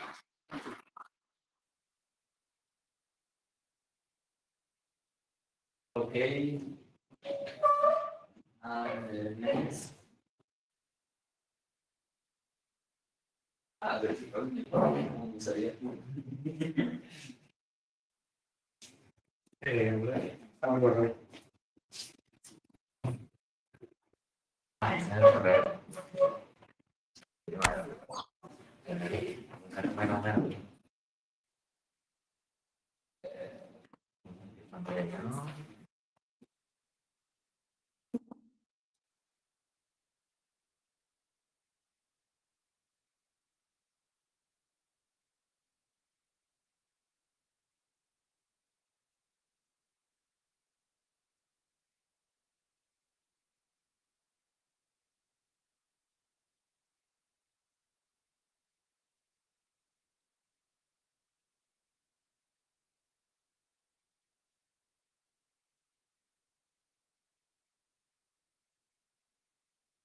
Eh, pantalla, ¿no? Eh, ¿No tienes un pen? No. Eh, sí, bajamos en un pen.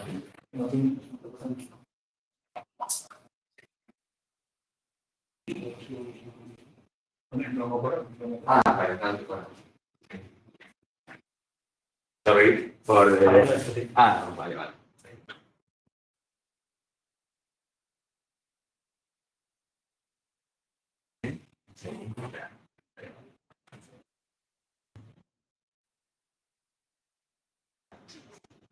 Sorry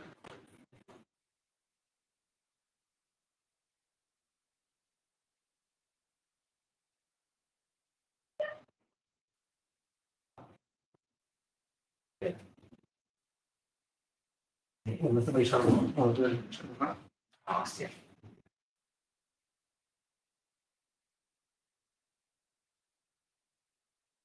Está bien. Sí.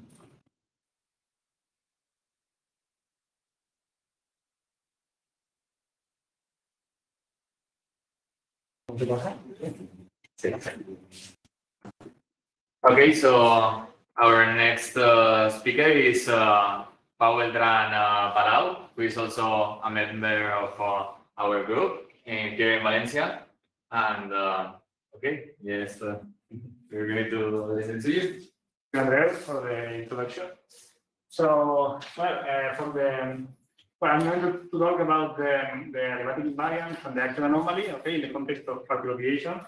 I, I know that the, this, this people can, can, um, uh, seems a bit uh, complex and unrelated to gravitation, but you will see that it's uh, quite related. And, um, okay, to, to sum, I, I- um, I would like in this, in this talk to, to give you a, a different idea of the well-known uh, anomaly.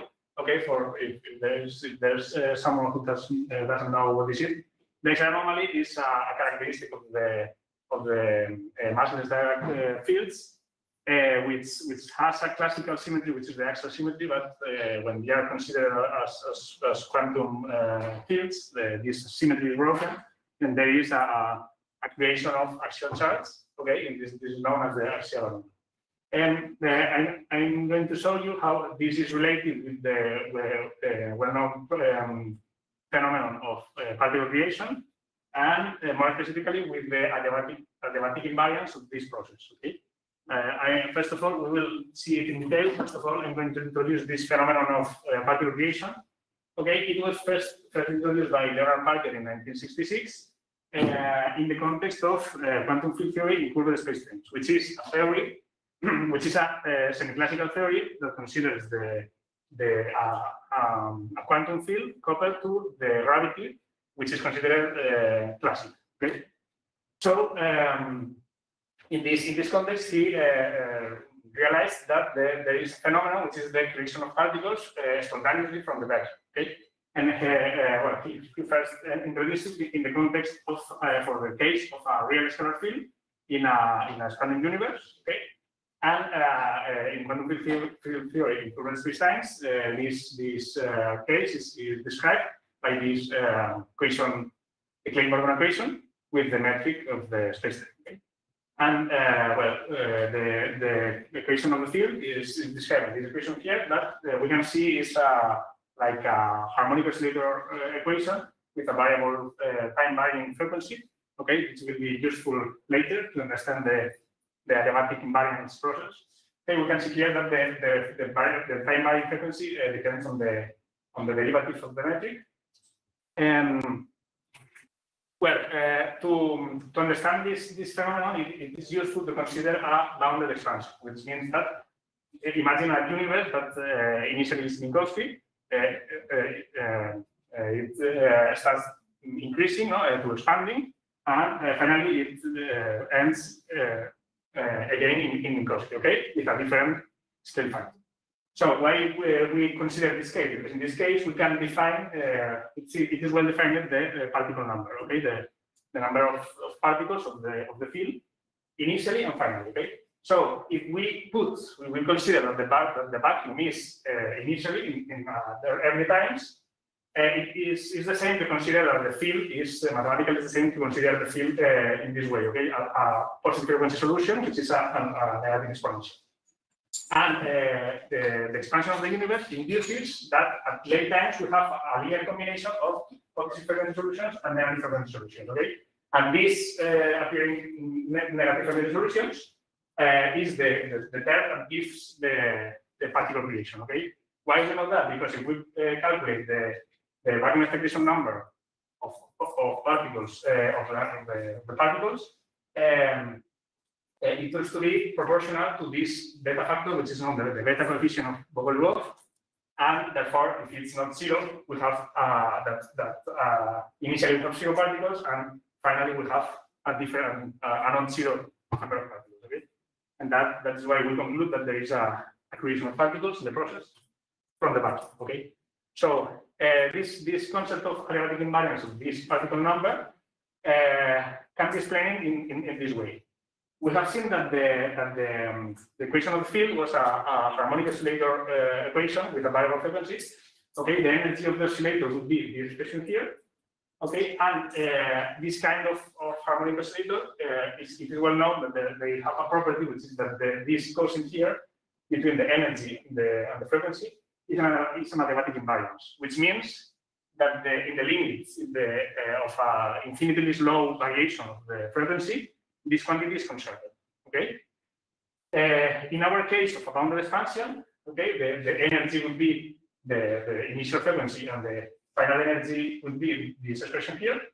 Okay, and, and comparing this this quantity at initial and late times, we can see that if, if this quantity must uh, has to be uh, conserved in the adiabatic limit, we have that uh, the beta coefficient must be zero in the adiabatic limit. Okay, so we can conclude in this in this simple way that the uh, in the, in the, the, the, the particle creation for by by gravity um, by gravity background is, is zero. I mean, there, there is no particle creation if we're in the limit of a of a, a slowly, infinitely slow uh, expanding of the expansion of the universe. Okay, but uh, we know that this uh, uh, process of particle creation is not. Uh, it, it, it doesn't happen only for gravitational fields. It also happens in for other fields, like for example for the electric field. Okay, uh, and a strong electric field can create from the uh, from the vacuum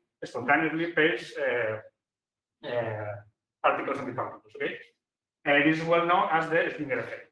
Okay, and it's closely related to this Parker collision of particles, but in the context of an electric background. Okay, so the question is, in this context of the electric field, uh, this adiabatic invariance of the of the process of the particle number creation uh, is, it uh, the same? Uh, they are um, adiabatic invariant or, or they are? Spoiler, they are. In some cases, in some cases, uh, this adiabatic invariance is broken. We, we're going to see. So, um, uh, as, as in the previous, in the gravitational case, we, we saw that we considered a, a bounded expansion. In this case, what we consider is a bounded um, uh, electric potential, okay, which is the same to consider a pulse, an electric pulse, okay. Uh, uh, particularly, we, we, consider the Sauter pole, which is that expression there, okay, and therefore we, we have this uh, representation here, okay, and you can see that this um, the, the rho uh, the rho parameter is a slowness parameter, okay. Therefore, if we uh, uh, want to study the, the adiabatic limit, the adiabatic of the, the limit of uh, infinitely slow variation of the of this um, electric potential, we have to do the limit uh, relative to zero. Okay, this, this, is the way how we will analyze the adiabatic. So, well, uh, there are some formulas I, I only show to you, but uh, the, I, I will just explain the results. Uh, Okay, so in the case we have analyzed the, the, the scalar and the Dirac uh, fields. In the case of a scalar field coupled to a, an electrogram, and we have uh, we, we start now uh, in the two-dimensional case, and then we will generalize to the four-dimensional because the, the calculation is easier, it's easier in, the, in this way. So uh, in two-dimensional case, a scalar uh, field in an electrogram is that expression there, the, the, the beta the beta coefficient, which means the, the, the beta you have to understand it as the the, the spectrum of momenta of the created particles, okay? And the Dirac, for Dirac field is this expression here, okay? And uh, you trust me when I say you that uh, in the adiabatic limit rotating to zero, uh, these, these two expressions uh, are 10, 10 to 0 in the case, in the massive case, where the mass is different to 0, and uh, it tends to a non-zero value in the in the case uh, of in the massless case. Okay, what does this mean? This means that in the case of massive particles, we have this adiabatic invariance. Okay, the, the, the, the, beta tends to zero in the in the adiabatic limit, but for massless particles, uh, uh, this adiabatic invariance is broken. Okay, so if we have a, an electric pulse uh, that that, um, that is infinitely slow, uh, no massive particles are created, but there are massless particles created. Okay. So, well, in these uh, both uh, graphics, you can see this idea more, more clearly. Uh, uh in both cases, you can see that when we, well, we, we are representing here the, the number of particles uh, in terms of the parameter, okay?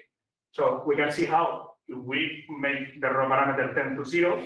In, in all cases, the, the number of particles tend, tend, tend to zero, except in the matrix case, which is this purple line here, okay? this purple line here. In both cases, we see how this is the only case in which it tends to a non-zero value. Okay.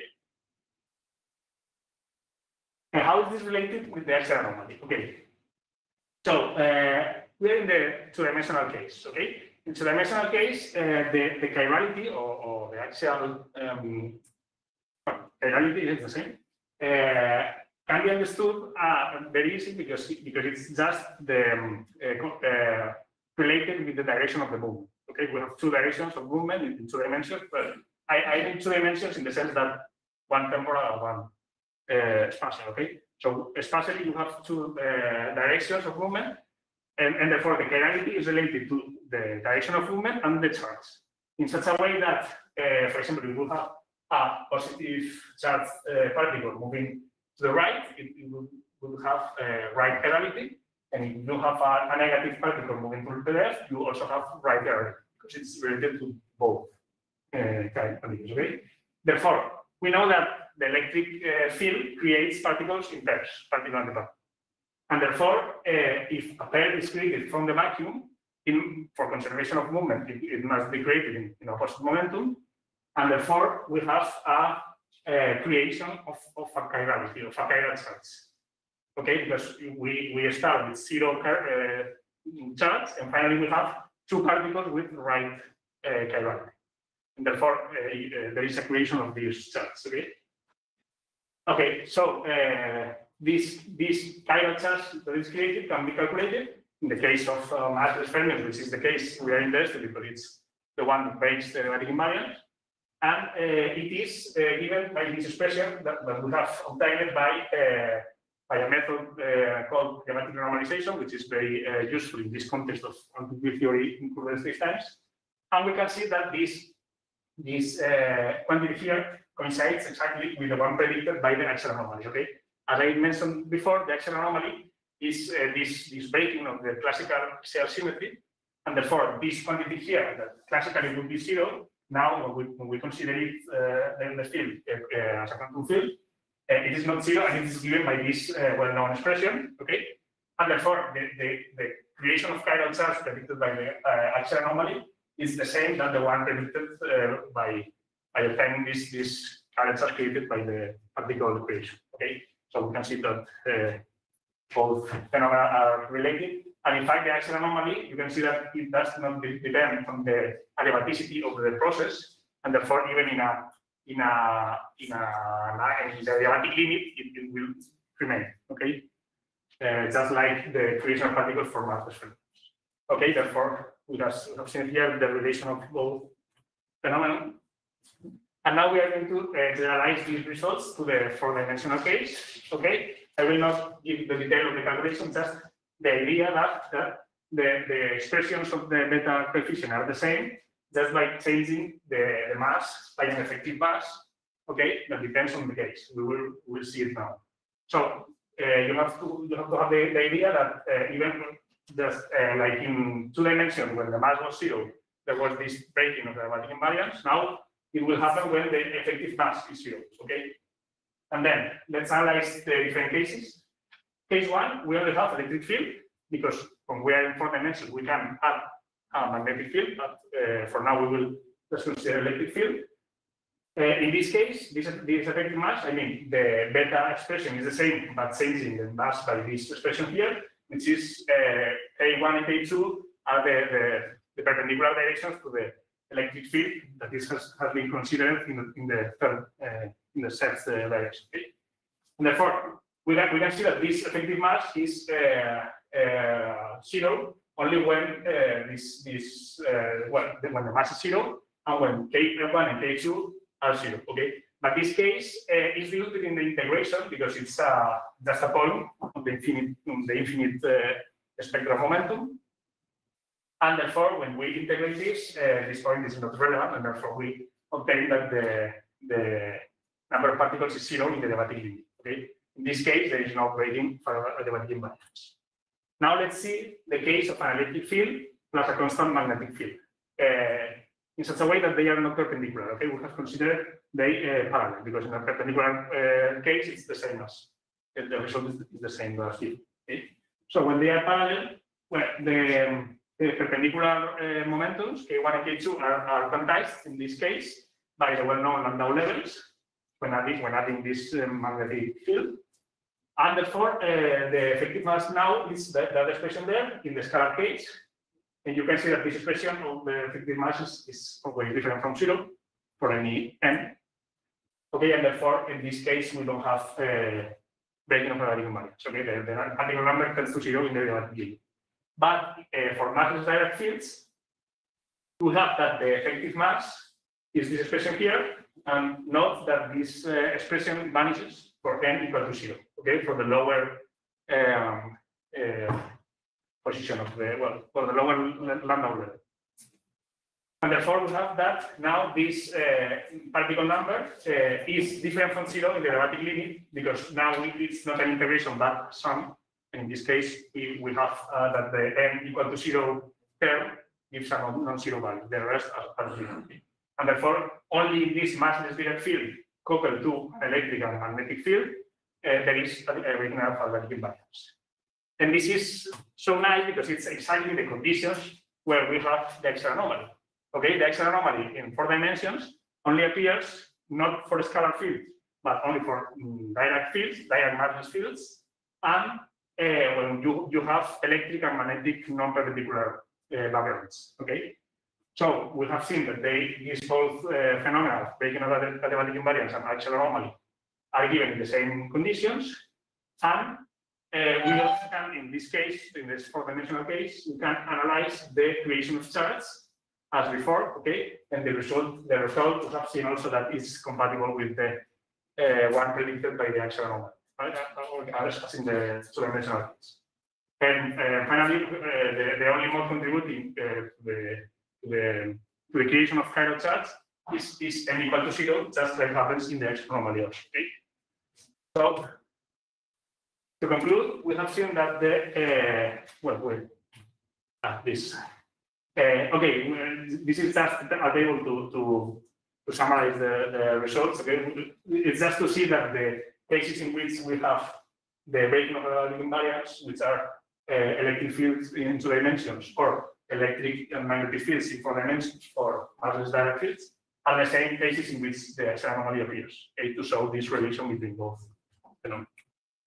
Okay, and to conclude, uh, we have seen that the, the adiabatic invariance of the of the particle number, which is which is you know, the particle creation, which is verified uh, when the background is is the gravity, the, the an expanding universe, uh, is broken when we are uh, considering an electric background in some special cases, which are uh, massless particles in two dimensions, uh, massless fermions in four dimensions, uh, in presence of electromagnetic backgrounds, such that electric and magnetic fields are perpendicular. And finally, we have seen that the breaking of adiabatic invariance uh, is closely related with this process of with this phenomenon of the axial anomaly. Okay, they, they appear in the same conditions, and in fact, this this creation of of, of the of chiral charts in the massless and adiabatic limit is compatible with the one predicted by the anomaly. And that will be all. Thank you so.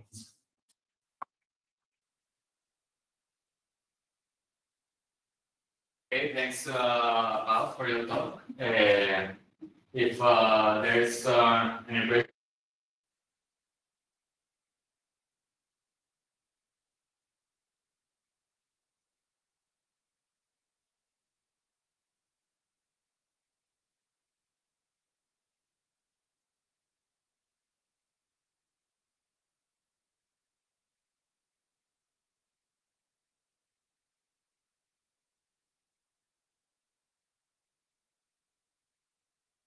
Uh, in the meantime, I have a little question. Okay. Um, if you can go back to one of the first slide where you, where you show, uh, no, no, forward, Uh, forward. forward, uh, the next one, I think, yes, yes, yes, yes.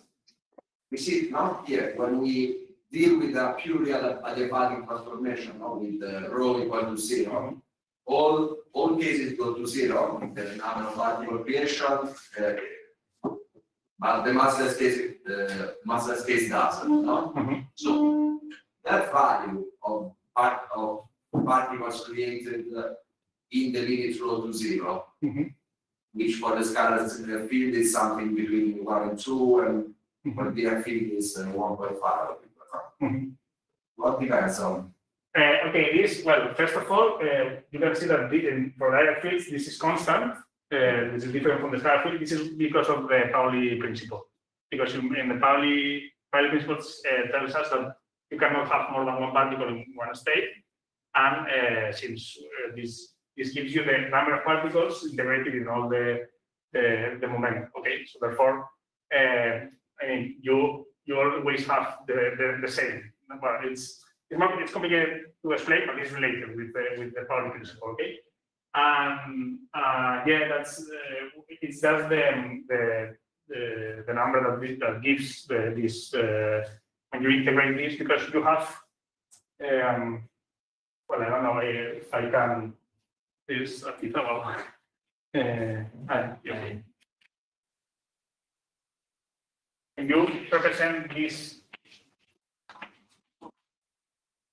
this beta factor, okay, you have for massless for n equal to zero, you have this like like a, a spectrum in, in, like this for Dirac fields, okay, and when you integrate them, you have like this is one, and this is I think zero and two a zero.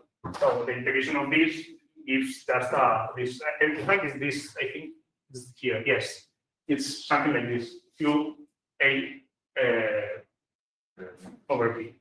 It's just the number it gives. It's it- it's the one expected by the axial anomaly. It's consensus.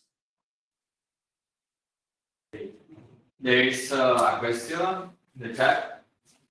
Uh, is there any difference in the creation of particles between fermions and scalars in uh, in two dimension dimension?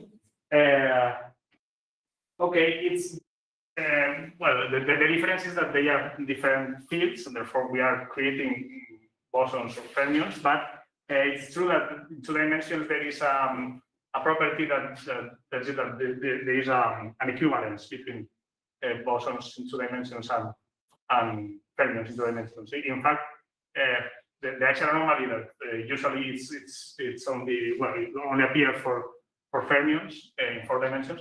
When we are in two dimensions, it also appears based on analog axial anomaly uh, for scalar fields because there is a, an equivalence. Uh, there is a, a- there is, I think, there is a, a transformation that, that can change you a, field, a scalar field for a fermion field. They are like equivalent in two. Okay, so if there are no more questions, let's.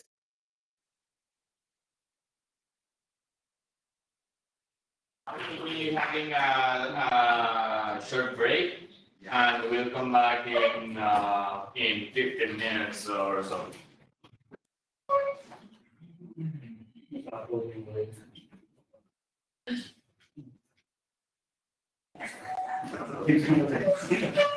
yes.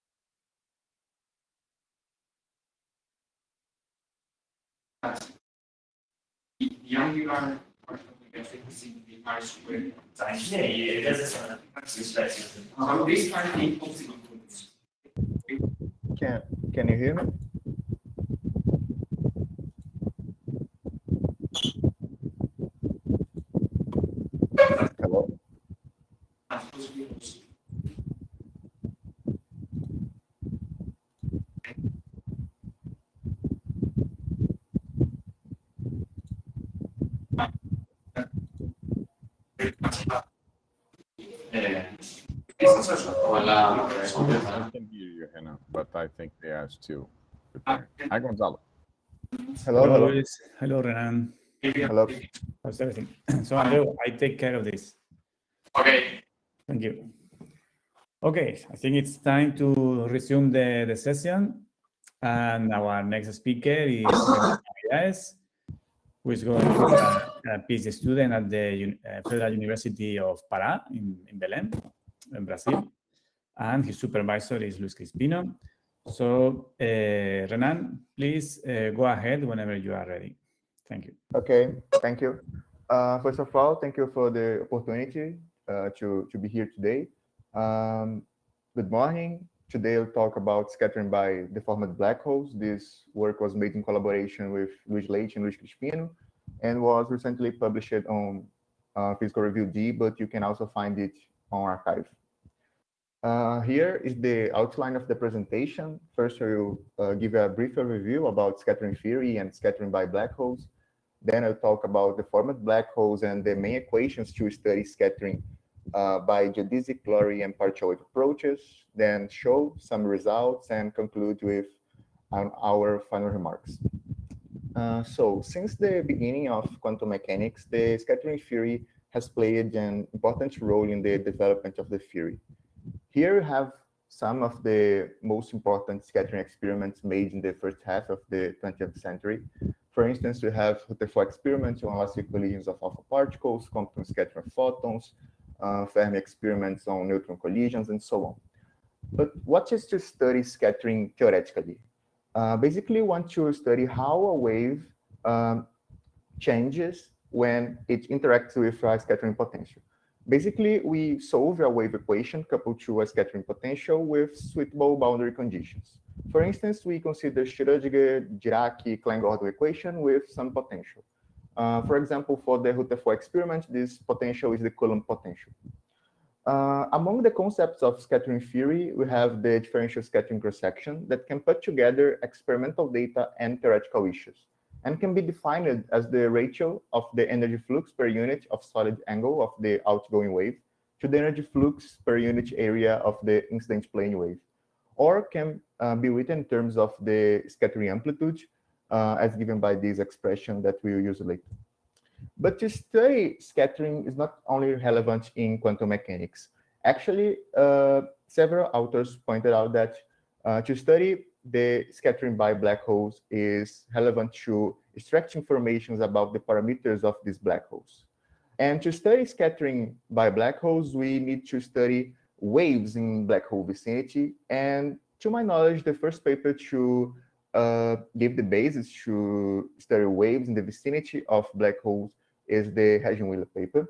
But uh, uh, computation of the differential scattering cross-section um, happens only in 60s, actually in 64, in a PhD thesis of Hildreth.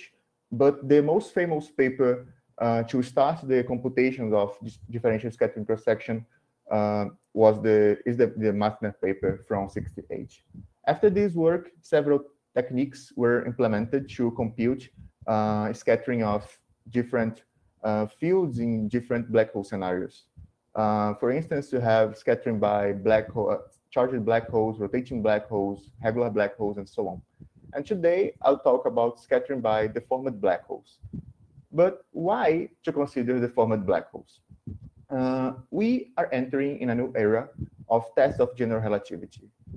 Uh, gravitational waves and the first image of uh, black hole shadow provide new channels to test gravity in the strong field regime.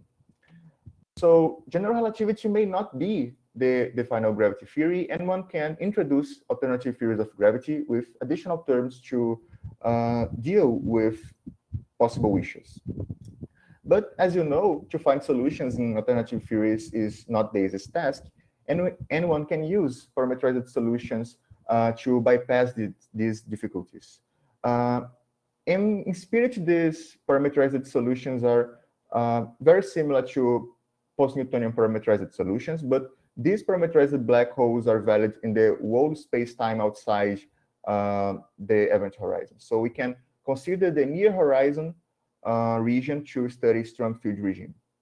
And along the years, several parameterizations were introduced. In, and today we will consider in particular this parameterization uh, given, given by Johannsen and Psaltis, uh, defined by this line element where h is the deformation function and epsilon n are the deformation parameters that when all these parameters vanish, we recover the, the Schwarzschild uh, space-time. Uh, it's important to point out that uh, the event horizon of the Johannsen-Psaltis black hole uh, is the same of the Schwarzschild space-time regardless of the deformation parameters. So the area of the Johannsen-Psaltis black holes are the same of Schwarzschild. And we can constrain the Johannsen-Psaltis parameters to have the same post-Newtonian asymptotic of Schwarzschild, and we'll do this later. So we want to study scattering of particles and fields in, in this uh, black hole uh, background. And we'll start by analyzing the, the scattering of particles. So we need to, to obtain the trajectories in this space-time. Here you have the, the geodesic equation in this space-time. K is equal one for massive particles and equal zero for massless particles. And in this work, we consider only massless particles because uh, they play an, an important role in the eikonal uh, limit of the scalar scattering. Well, due to the Killing uh, vectors associated to uh, this space-time, have two conservative quantities along the geodesics. Uh, one of them related to the energy and the other with the angular momentum. And we can uh, substitute these conservative quantities in the uh, geodesic equation to obtain a, an expression in the equatorial plane for the orbit, orbit equation. Um, here, B is the impact parameter, and in the next slide, I will show where it is. Uh, we can derive this equation again and obtain this expression that can be used to determine the, the trajectories um, in this space-time with suitable boundary conditions. But this equation can also be used to obtain the location of the light rings, um, basically by vanishing these two derivatives and solving this equation. And as this space-time is static and circularly symmetric, uh, the light ring location determines the shadow of the black hole. Uh, here we have a schematic representation of what is going on. We have a trajectory, and here we have uh, the scattered body, the parameterized black hole. Here we have the impact parameter and the closest radius. Uh, this capital theta here are the total deflection angle.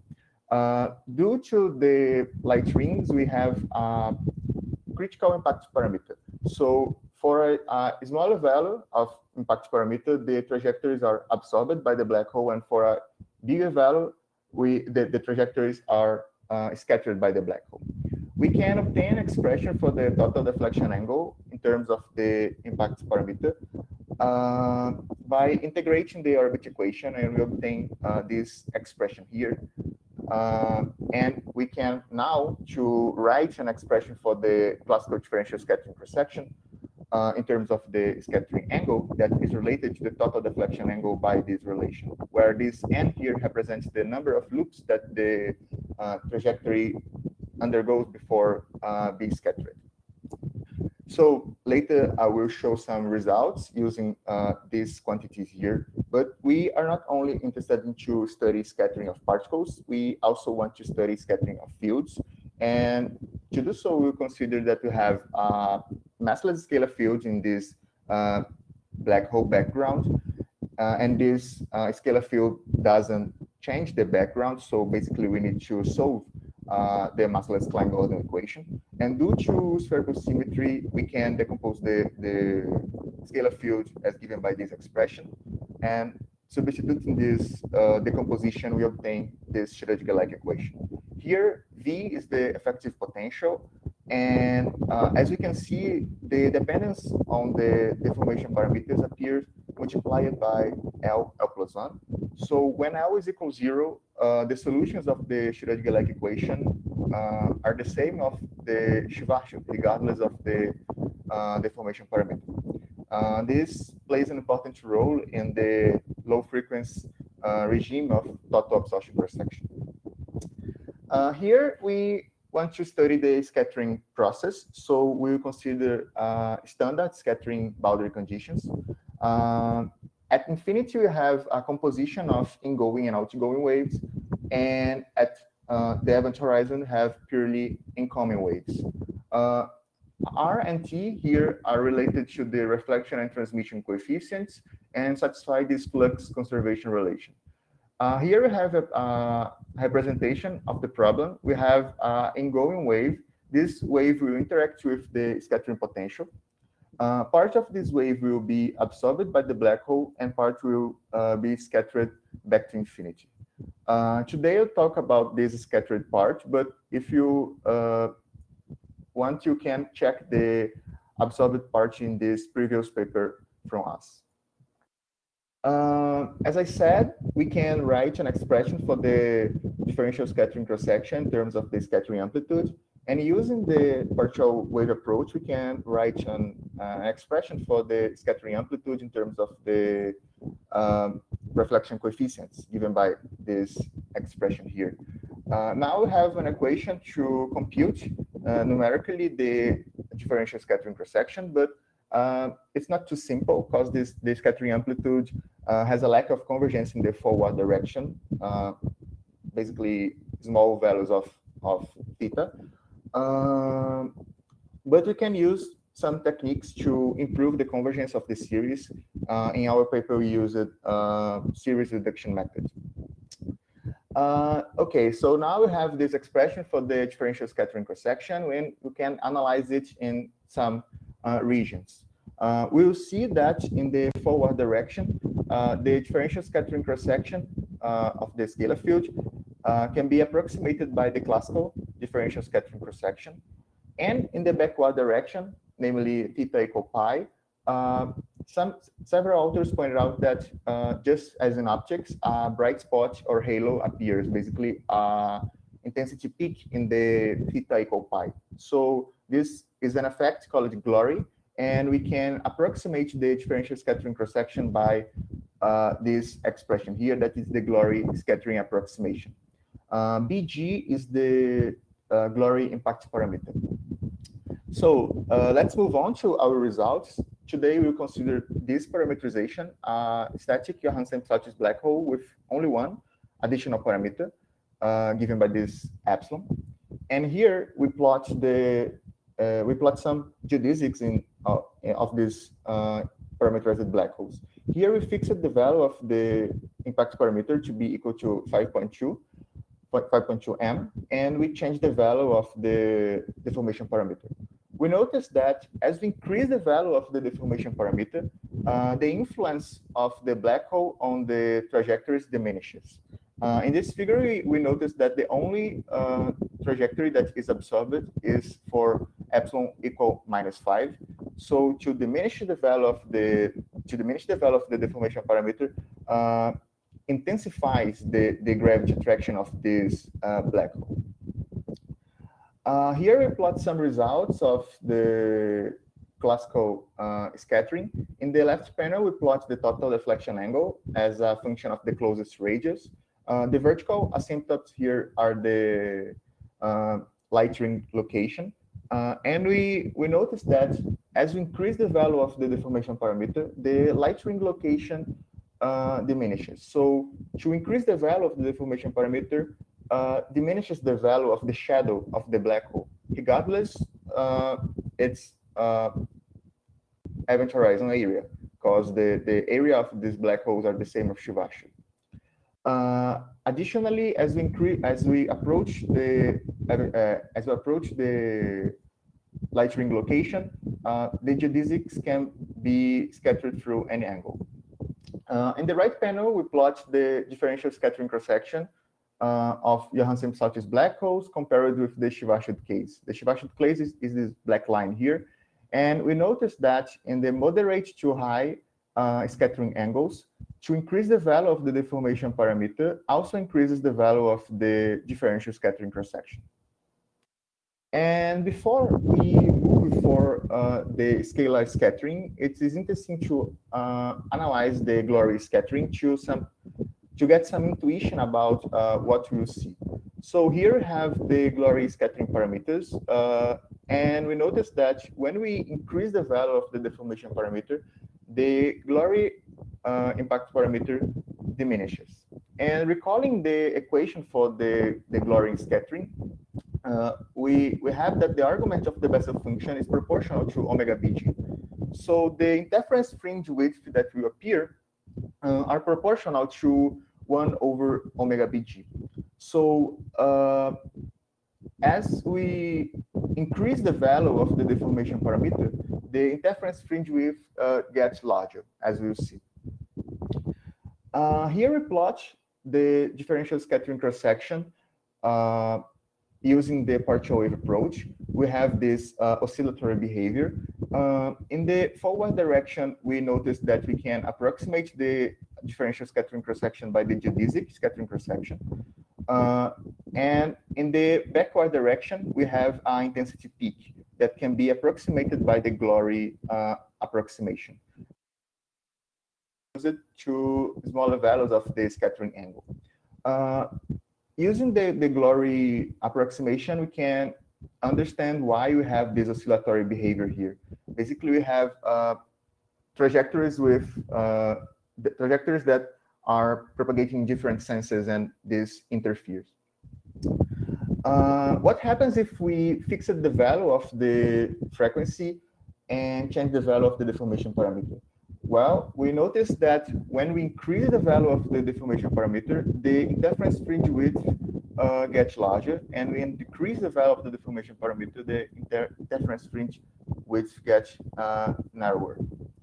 Um, the same happens if we fix the value of the deformation parameter and change the value of the frequency. To change the, the value of the frequency, uh, to, to increase the value of the frequency, uh, get the interference uh, fringe width uh, narrower, as, as we can see here. Uh, as I said, to change uh, the deformation parameter influences in the intensity peak of the in the theta equal pi. So we can compare this with the glory uh, with the glory approximation, and we obtain that the numerical result oscillates around the glory approximation. So uh, yeah, glory can be used, but to to have a, a better um, a better result in the in the uh, theta equal pi, we need to consider numerical results. Uh, and here we have our final remarks. We presented the main equations to study the scattering uh, process via the geodesic analysis, glory approximation partial wave approach. And we also studied the role of the deformation parameter in the scattering process. Uh, in the forward direction, the effects of the deformation parameter are less relevant, and our numerical results for differential scattering cross-section are well approximated by the classical differential scattering cross-section. In the moderate to high scattering angles, we notice that a remarkable interference pattern appears due to trajectories propagating different senses. And in the backward direction, we have that we have that the deformation parameter has a, a is, is relevant and we can approximate our results with the glory semi-classical scattering.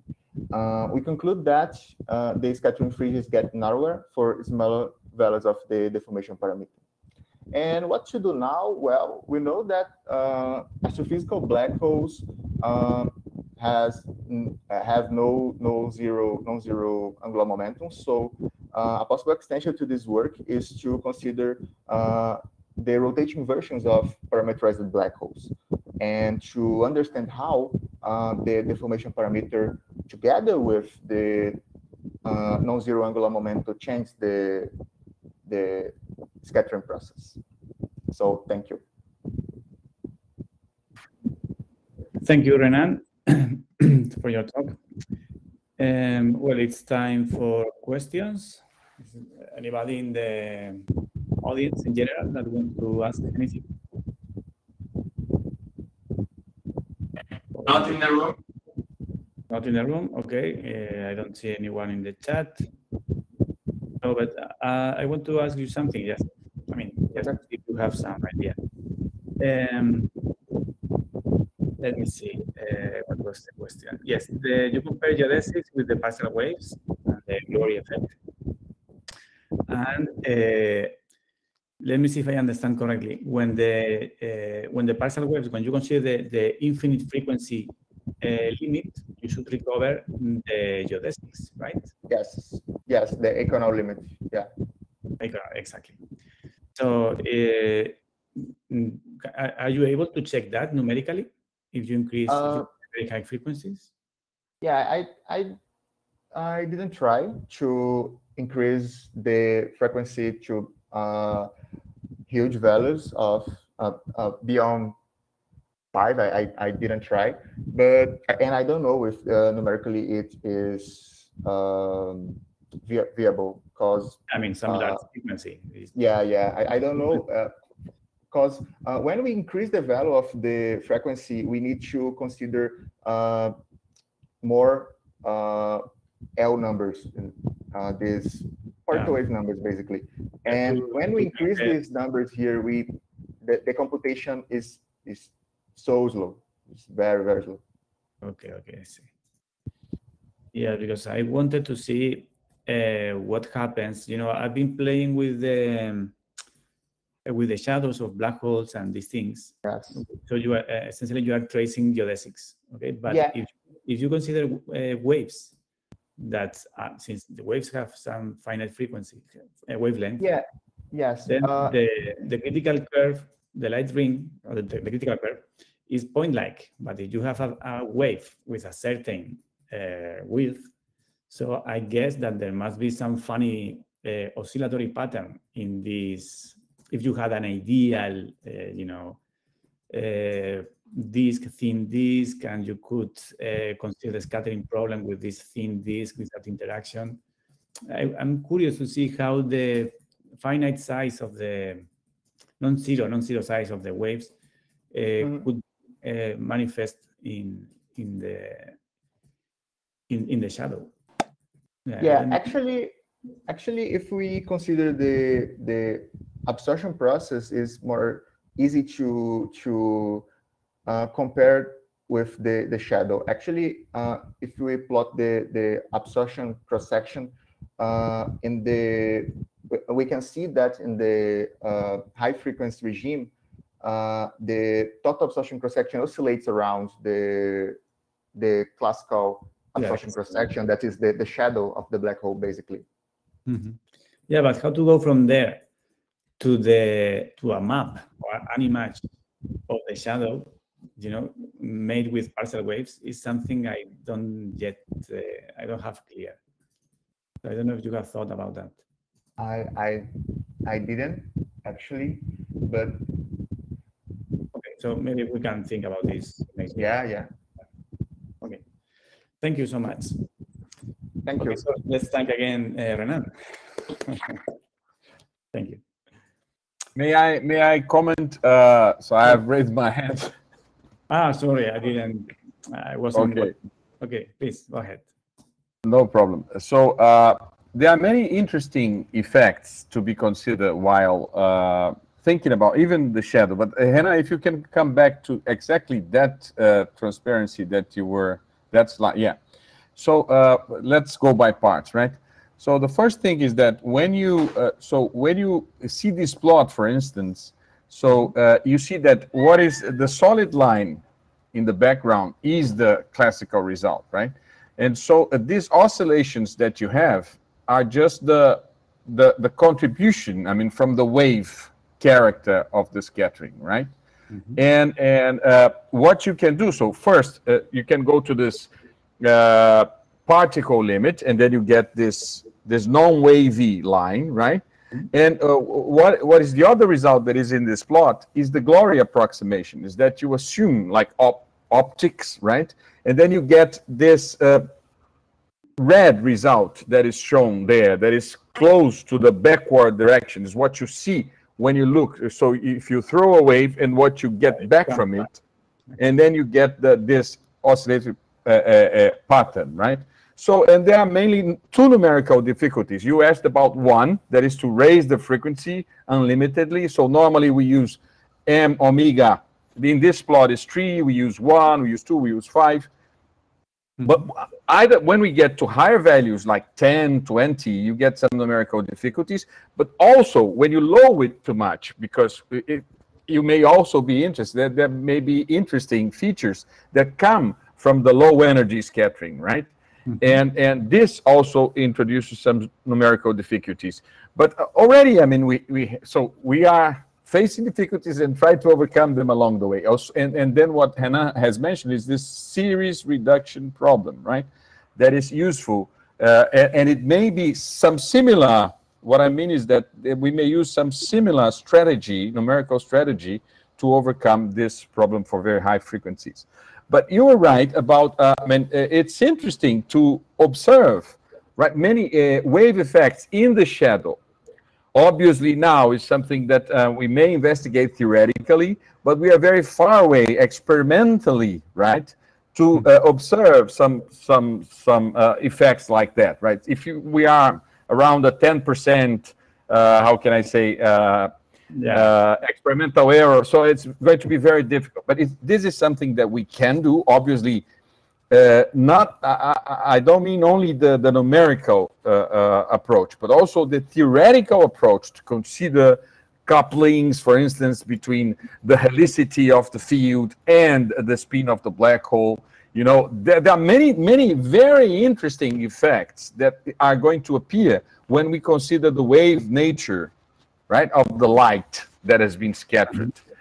But I mean, uh, it's still a long road to go. I think we can go, but I mean, uh, we have to decide. I mean, so we since we are so far from, I mean, like to uh, see it experimentally. I mean, we have to, but it's very interesting. Although a lot of work, theoretical work, theoretical studies to be implemented. Thank you very much for your very nice question. Thank you for Uh, your comments. Yes. Okay, so it's if there are no further comments, um, then I think we can move to the next speaker. Uh, Zeus, let me. Uh, I cannot make you from here, but I can go to the other place just to see if I can upgrade you to presenter. Okay, now you are presenter. Very good. So I come back to my computer. Okay, so whenever you want, you can share your screen. And okay. Hello, Zeus. Can you share your slides? I cannot hear you. Are you speaking?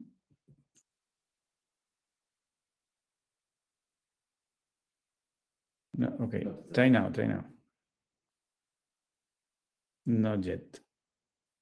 No, we have some problem. Now I hear something. Not now, it went away. Just for a second. Maybe the cable, try to disconnect and connect again, the jack. Ah, Zeus, let me ask you one thing. So, do you see the, the, the microphone blue in your computer? I see. Blue. As a last uh, possibility, just remove your phone, right? And try to speak without the, the you already did that. So insert it again.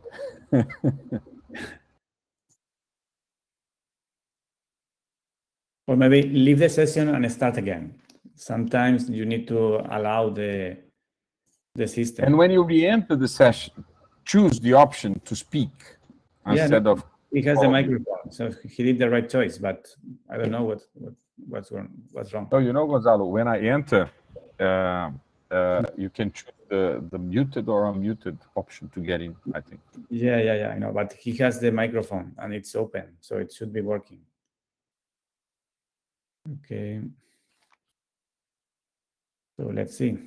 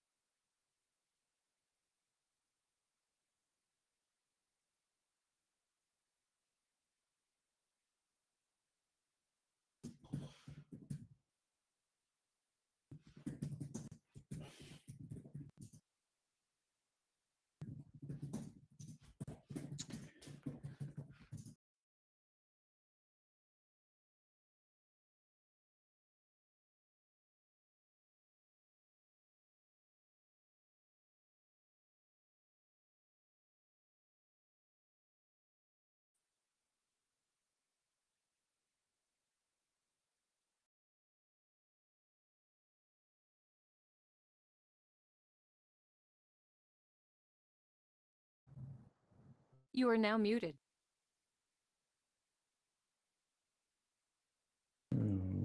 Okay. No, you're still presenter, so can you say something? No, it's not working. You say hello, I can read your lips, but.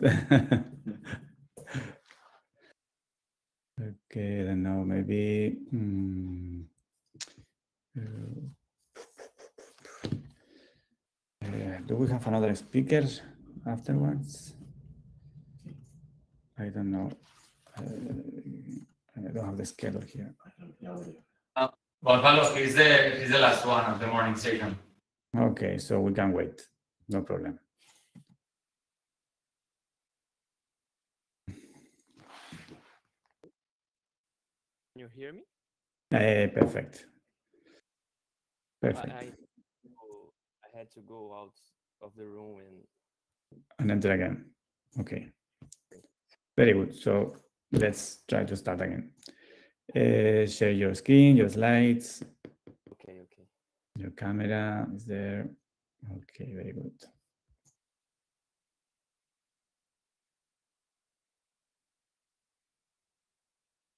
I hope you can already see my my screen, right? Yes.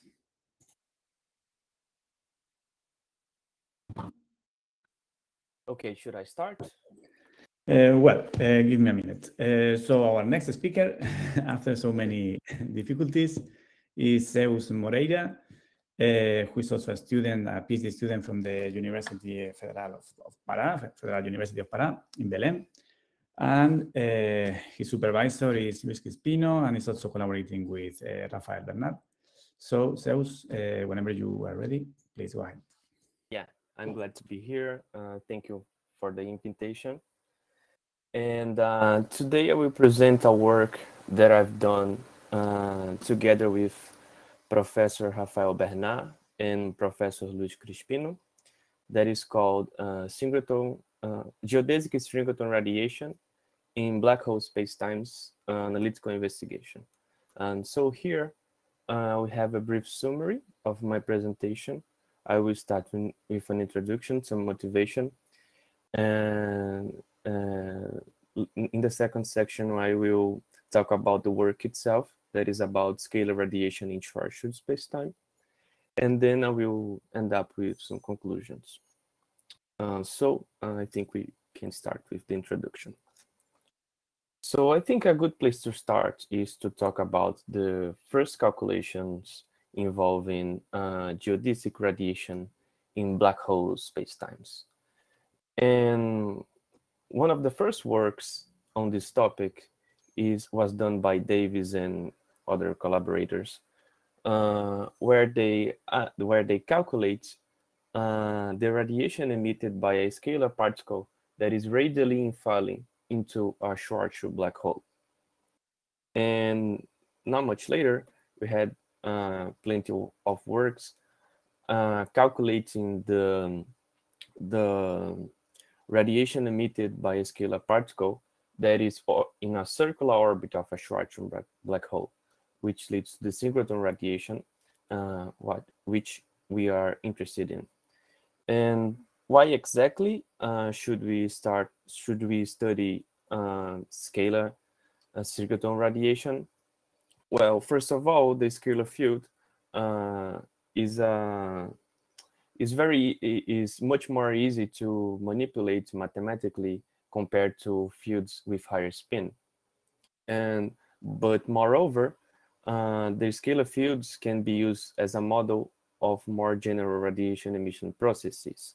For instance, uh, some decades ago, we had some uh, supposed gravitational wave detection in a paper by Weber.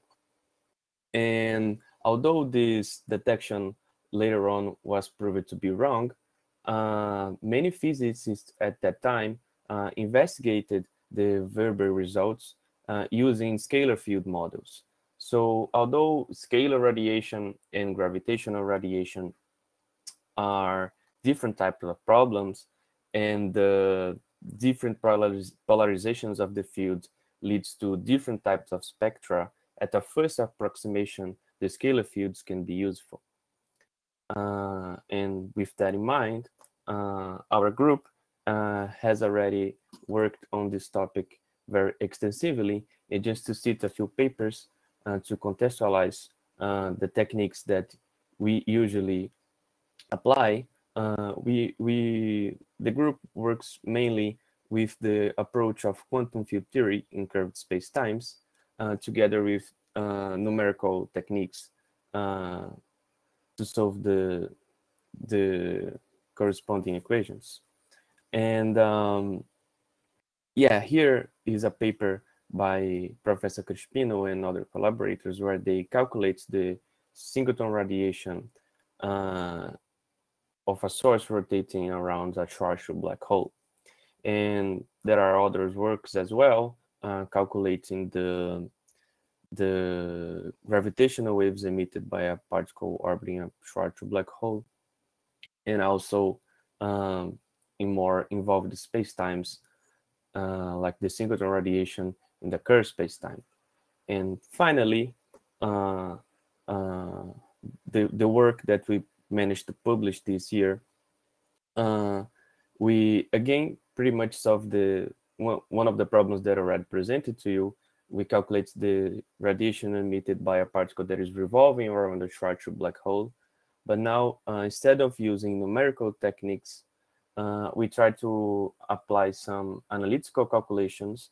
Uh, namely, we use the theory of Heun functions. And um, yeah, just a brief recap on Heun functions. And here in equation one, we have the what is the so-called Heun equation. Uh, and this is a linear ordinary differential equation with four regular singularities. Namely, uh, the singularities are uh, z equals 0, 1, a, and infinity. And yeah, and you also have to satisfy this constraint over here. Uh, but this uh, is not this equation exactly that I will use in our work. Uh, in fact, uh, uh, the equation that appears in the in the case of the scalar field in the Schwarzschild spacetime is the confluent case of the Heun equation. That is equation number two. Uh, or simply the confluent Heun equation. And you can reach the equation uh, two uh, from the equation from the equation one by means of a confluence process. A confluence process uh, is when you merge two singularities of the equation together. And so to, to get equation two from equation one, we have to take the singularity z equals a, and you take a uh, to infinity. And then and then we end up, you end up with three singularities. The two previous one, as z equals one and z and z equals zero, remain regular. But now, because of the confluence process, the singularity at infinity is now irregular. And the the the equations of the Heun class describe many physical phenomena, uh, such as in the quantum mechanics or or even here in black hole physics and that is uh, very interesting to investigate um, their properties so now uh, we may go to the work itself that is about scalar radiation in Schwarzschild spacetime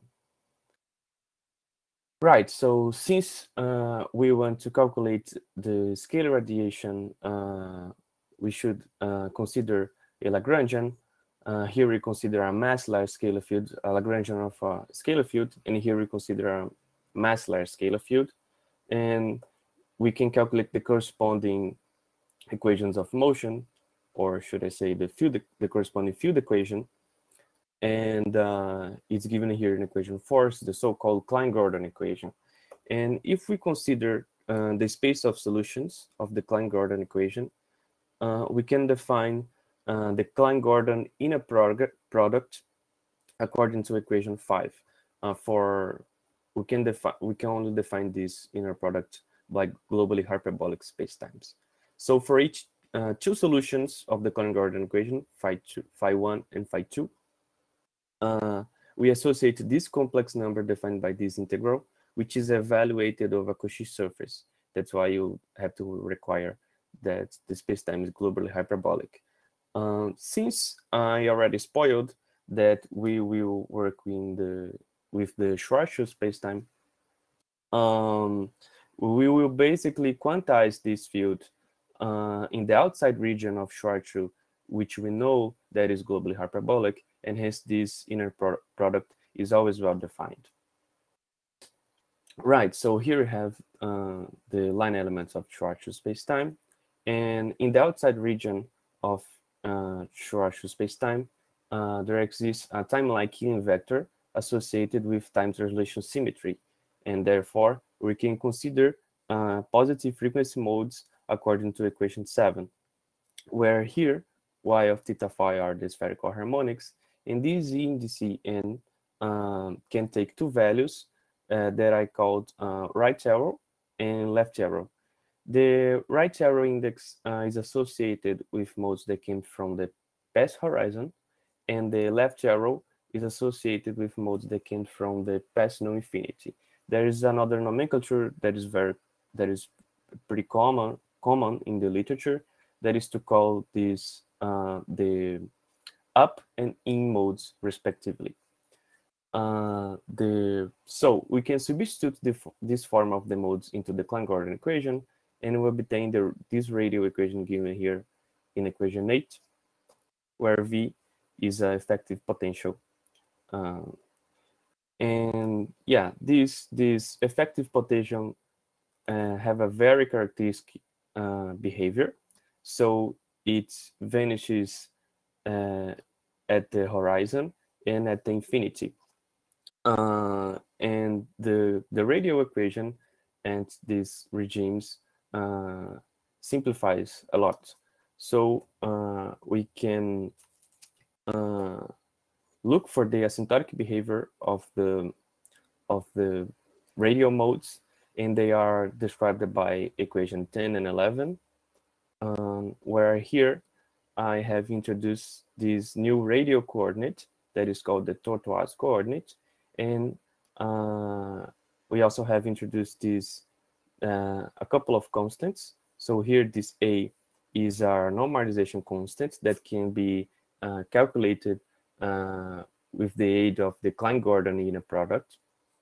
And the, these R and T are related to the reflection and transmission coefficient respectively. So um, here uh, we have a representation of the right arrow and left arrow modes uh, in a Penrose diagram. So for instance, the left arrow modes or the up modes, they came from the past horizon. They interact with the effective potential and part of the modes are transmitted to the, the future infinity, the future null infinity, and the other part is reflected back to the horizon. And similarly, uh, the in modes or the left arrow modes uh, came from the past infinity, interact with the potential. Some of them are transmitted and some of them are reflected back. Right, so now we may proceed with the canonical quantization of the field, the scalar field, and the set that the, the set of positive and negative frequency modes forms a complete set of functions. So we may expand our field in terms of positive and negative frequency modes. And these new operators, A and A dagger, uh, are the usual annihilation and creation operators, uh, which satisfies the typical uh, commutation relation here in equation 13. Um, yeah, and since the the set of modes that we are dealing with are a complete set, they must be orthonormal set, orthonormal set, and this is given here in equation 14. And we can also use the Klein-Gordon inner product to calculate uh, our normalization constant is given here in equation 15. Uh, so now uh, we may consider the, the current that describes the scalar charge that is orbiting the black hole. So the this current couples to the scalar field through this constant q. And uh, yeah, it's localized at a fixed radius, capital R. It's in the equatorial plane, plane and it revolves uh, around the black hole with, with uh, angular velocity capital omega. And we can calculate the emission amplitude of a particle uh, being emitted uh, with quantum numbers n, omega, l, m. And with the emission amplitude in our hands, uh, it's a pretty straightforward calculation uh, to calculate the corresponding emitted power. And the emitted, the expression for the emitted power is given here in equation 18. And we can see that the emitted power uh, depends directly on the form of the radio modes. So we need to solve the radio equation uh, in order to evaluate this quantity. So uh, the radio equation um, can be cast actually in by a suitable transformation. You can transform the radio equation of the scalar field in Schwarzschild spacetime into the canonical form of the confluent Heun equation. So the corresponding solutions are given in terms of confluent Heun functions, which here are denoted by this Heun C in equation 19. And all these new indices, Q alpha, delta gamma, and epsilon, uh, they are defined here in equations 20 to 24. And now uh, we present some consistency checks between our analytical results and some numerical results already present in the literature. Uh, so uh, here we plot the absolute value of the radial modes uh, with with respect to the radial coordinate for different for different values of the frequency and for L fixed equals to one. And here on the left, uh, we consider the the left arrow modes uh, or the in modes and here over the right, we consider the right arrow modes or the up modes. And as you can see, the numerical and analytical calculations are in very good agreement. Uh, and here uh, we calculate the emitted power as a function of the of the particle angular velocity. And again, the left panel is associated with left arrow modes and here right arrow modes. Uh, we consider L equals to M equals to 1, 2, and 3. And again, uh, pretty much the numerical analytical result yields to the same result. Now, uh, uh, interesting particular case to analyze is the low frequency limit. And to investigate the regime of low frequency, we just have to take our uh, radio your, our general analytical solution of the radio equation given uh, back then back there for for equation 19 and set the frequency to zero. And we obtain this expression here in equation uh, in equation 25 and some very intriguing happens uh, because previously uh, we had two linear independent confluent Heun functions uh, that combines together to form the solution however when you put the frequency to zero these two linear independent uh, functions uh, degenerate into a single one confluent Heun function, as you can see here in equation 25. And this is due to the fact that the characteristic exponents of the confluent Heun equation are 0 and minus 4 i m omega. And in order to have two linear independent Frobenius solutions, the difference between these two characteristic exponents cannot be an integer number. Uh, however, when the frequency goes to zero, this difference goes to zero as well. So the linear independence is lost. Uh, on the other hand, uh, there are several ways to find a second solution when you already know uh, first solution of a linear differential equation. And here we choose a method where we analyze the confluent Heun equation symmetry group. And uh, but first, it's important to note that the confluent Heun functions must satisfy this transformation law given here in equation 26 for any a and b reals. So we may choose a and b to fit our problem. We choose a equals minus l and b equals l plus 1. So we get here on the left-hand side the, the Heun function that we had here in equation 25, and you can transform it into this new confluent Heun function on the right-hand side of 27. And now we consider the confluent Heun equation symmetry group. This is basically a group with 16 elements, uh, which leaves the confluent Heun equation invariant. We consider two transform transformations of this group. The, tra the transformation that is called T1 and the other that is called T4, and they are defined here in 28 and 29. And we need to apply this transformation in a specific order. So we first apply T1, and then we apply T4, and we obtain this new Heun function here in the on the right-hand side of equation 30. And the good news is that this new Heun function is now linear in the, uh, form a linear independent pair uh, together with the first one. Uh, so uh, we can express the general analytical result of the radio equation in the low frequency regime as a linear combination of these two. Uh, and we can go even further and look for the relation between confluent Heun functions and hypergeometric functions.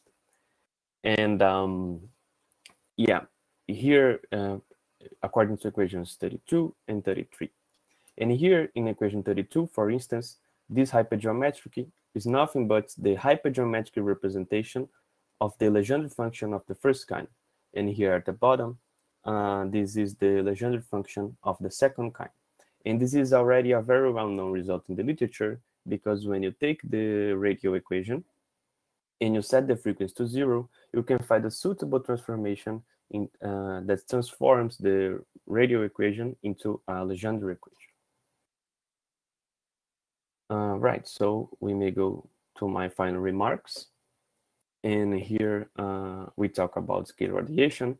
And uh, just a brief summary, uh, we have obtaining, obtained analytically the, the radiation emitted in terms of confluent Heun functions.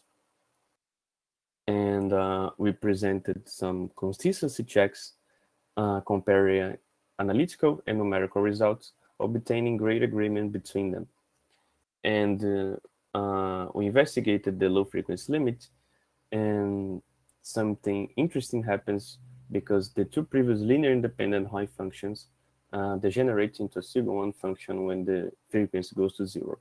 However, we are able to, to find a linear pair of independent solutions. Sorry, uh, we are able to find a linear independent pair of solutions uh, using the confluent Heun equation symmetry group and there are future perspectives on this work as well. Uh, we could explore uh, the theory of Heun functions in, on more uh, involved involved scenarios like uh, more general space-time, space black holes with rotation, or with uh, exploring fields with higher spin. And that's all that I prepared for today. Uh, thank you for your attention. Thanks a lot for your talk, Zeus. It's been very, very interesting. Uh, I'm sure that my students uh, would love it because they love these hypergeometric functions and the Heun generalization is looks really great. Yeah. So, uh, are there any questions in the in the audience in the room first? You can raise your hand if you want. No. No, no comments, no complaints. Nothing. Okay, here in the chat, anybody else who online who wants to comment something? Okay, so me, the, the, you, you can take your time to think. So let me see. Um, you have studied the radiation emitted by a point particle, a scalar point particle orbiting the object. Yeah, right. black hole. So how is this, uh, is this radiation somehow uh, similar to gravitational radiation? Is the way Yeah, it's similar, but uh, there there is a paper where uh, it's compared a paper by Rafael Bernar, Crispino, and I think Atsushi, where they plot all the the the corresponding spectra of the with of the radiation of fields with spin zero, one, and two, and you can see the difference. But um, yeah, I I I argue here in the introduction that you can somehow um, model uh, Mhm. some properties using scalar fields. Some some of the properties are shared by both systems, but of course, uh, there's the spectra is not the same Mhm. uh, because the you have uh, different uh, polarizations of the field, so it's accounts for a different kind of spectrum. Uh, but the, do you think or have you considered the possibility of addressing those problems uh, for different spins uh, also analytically? Yeah, I think it's I think it's pretty doable. It's Yeah. doable. Okay, no, I don't know if you remember, there was a talk yesterday by Pau Amaro Seoane, who was speaking about uh, uh, gravitational radiation in extreme uh, mass ratio inspirals. Yeah. And th- there seems to be a problem when you have uh, something like a brown dwarf orbiting a, a supermassive black hole, that uh, there will be a strong uh, signal to noise ratio. So there will be a, a strong emission for a long time. Mhm. So in order to uh, to filter those emissions, which can completely collapse your detectors in given frequencies, it is Mhm. necessary to have a, a good control on the modeling of those uh, waves. So I, guess I understand that uh, these analytical approximations or analysis that you are doing could be very useful in, in that direction. Yeah. So, and related to that, uh, I would like to know if it is possible uh, somehow to uh, to uh, mimic, I don't, uh, to mimic the back reaction. Okay, I'm, I don't want to model exactly the back reaction, but simply to mimic the back reaction uh, from your uh, current. When you define the current of the scalar wave, uh, you assume that the particle is at a fixed radius. Yeah, So- yeah. Maybe you could consider some time dependence in the radius. Okay, uh, you, you you must consider that the particle is emitting gravitational waves, so it's it's losing energy, so the radius is getting smaller, smaller. uh, Exactly. It's simply that the time scale of that variation should be much smaller than the, than the orbital period. Maybe 1,000 times, 1 million times, so that you Yeah. can do it adiabatically. So I Yeah. guess that you can probably uh, study in that way analytically some secular effects or some, uh, to have some control on those parameters. Yeah, I never I never uh, read a paper that considered this this this radiation emission together with the scalar with the scalar uh, radiation, uh, and I'm not quite sure if it is possible to treat exactly this problem uh, analytically. But yeah, it could be an idea to investigate. Why not? Um, I think that Um, adiabatically, you know, assuming there's a very slow change in the orbital Yeah. uh, radius, uh, you could make some progress in that direction because analytic numerically, if you consider the- the problem numerically, you can solve it for several uh, orbits, but not thousands or millions of orbits. yeah. Okay. So I think it might be very good to use your approach to implement that adiabatic uh, modification. Yeah, the the the the cur- the charge follows a time like circular orbit, right? And there Mhm. is a region in charge space time, I think is greater than six m. I'm not quite sure. That that is the stable orbits of of. Mhm. Uh, so in this region, I think you can apply this. Yes, probably. Yes, but the, it would be nice to have a look at that. But anyway, of course. we'll talk about it sometime. Of course. Thank you. okay, so anybody else wants to mention, comment something? I think uh, Luis uh, Crispino has raised the hand. Because I didn't see that. So Luis, please go ahead. Okay, so uh, thank you, Gonzalo, for your very interesting questions as usual. So uh, a lot of work uh, uh, to be done. I mean, uh, mainly, I mean, to adapt this uh, this uh, approach to higher spins, like electromagnetic and gravitational uh, uh, uh, fields, uh, as uh, you and Zeus mentioned. And and the main feature is that because there you have two polarization modes, as Zeus mentioned, so you have twice the radiation emission uh, when compared to the scalar case. So this is one, for instance, one of the features that you have. The other is the, the mode emission, emission mode by mode thing that I mean, uh, uh, in principle changes, right? When you consider different uh, uh, fields. But uh, it's very interesting, the possibility that you mentioned. I mean, things that numerically are very costly, right? uh, to implement it uh, with this analytical approach. But it's always, I mean, a matter of, uh, uh, I mean, uh, if it's uh, doable, right? I mean, if the amount of work that you have to to to treat the problem analytically, you know, one of the the, the biggest challenges to solve this was what Zeus mentioned that those transformations, right? Because in, in some situations, mean, you know, Heun functions, as you said, is a, a universe. Right? Almost everything can be solved with the Heun functions, right? So, and and this is something that you have to become a bit of an expert, right? I mean, to find uh, the appropriate transformation to deal with each problem that you consider. But certainly, it's worth uh, uh, taking a look carefully in these things that you mentioned. Thank you very much. Thanks for your comments. Okay, so thank you everyone for this, all the speakers for and everybody that participated in the comments and discussions for this uh, session.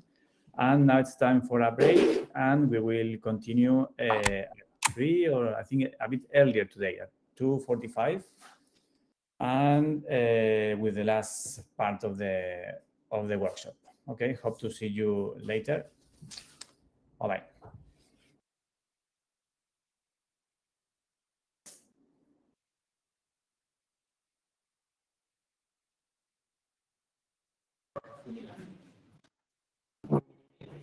还有啊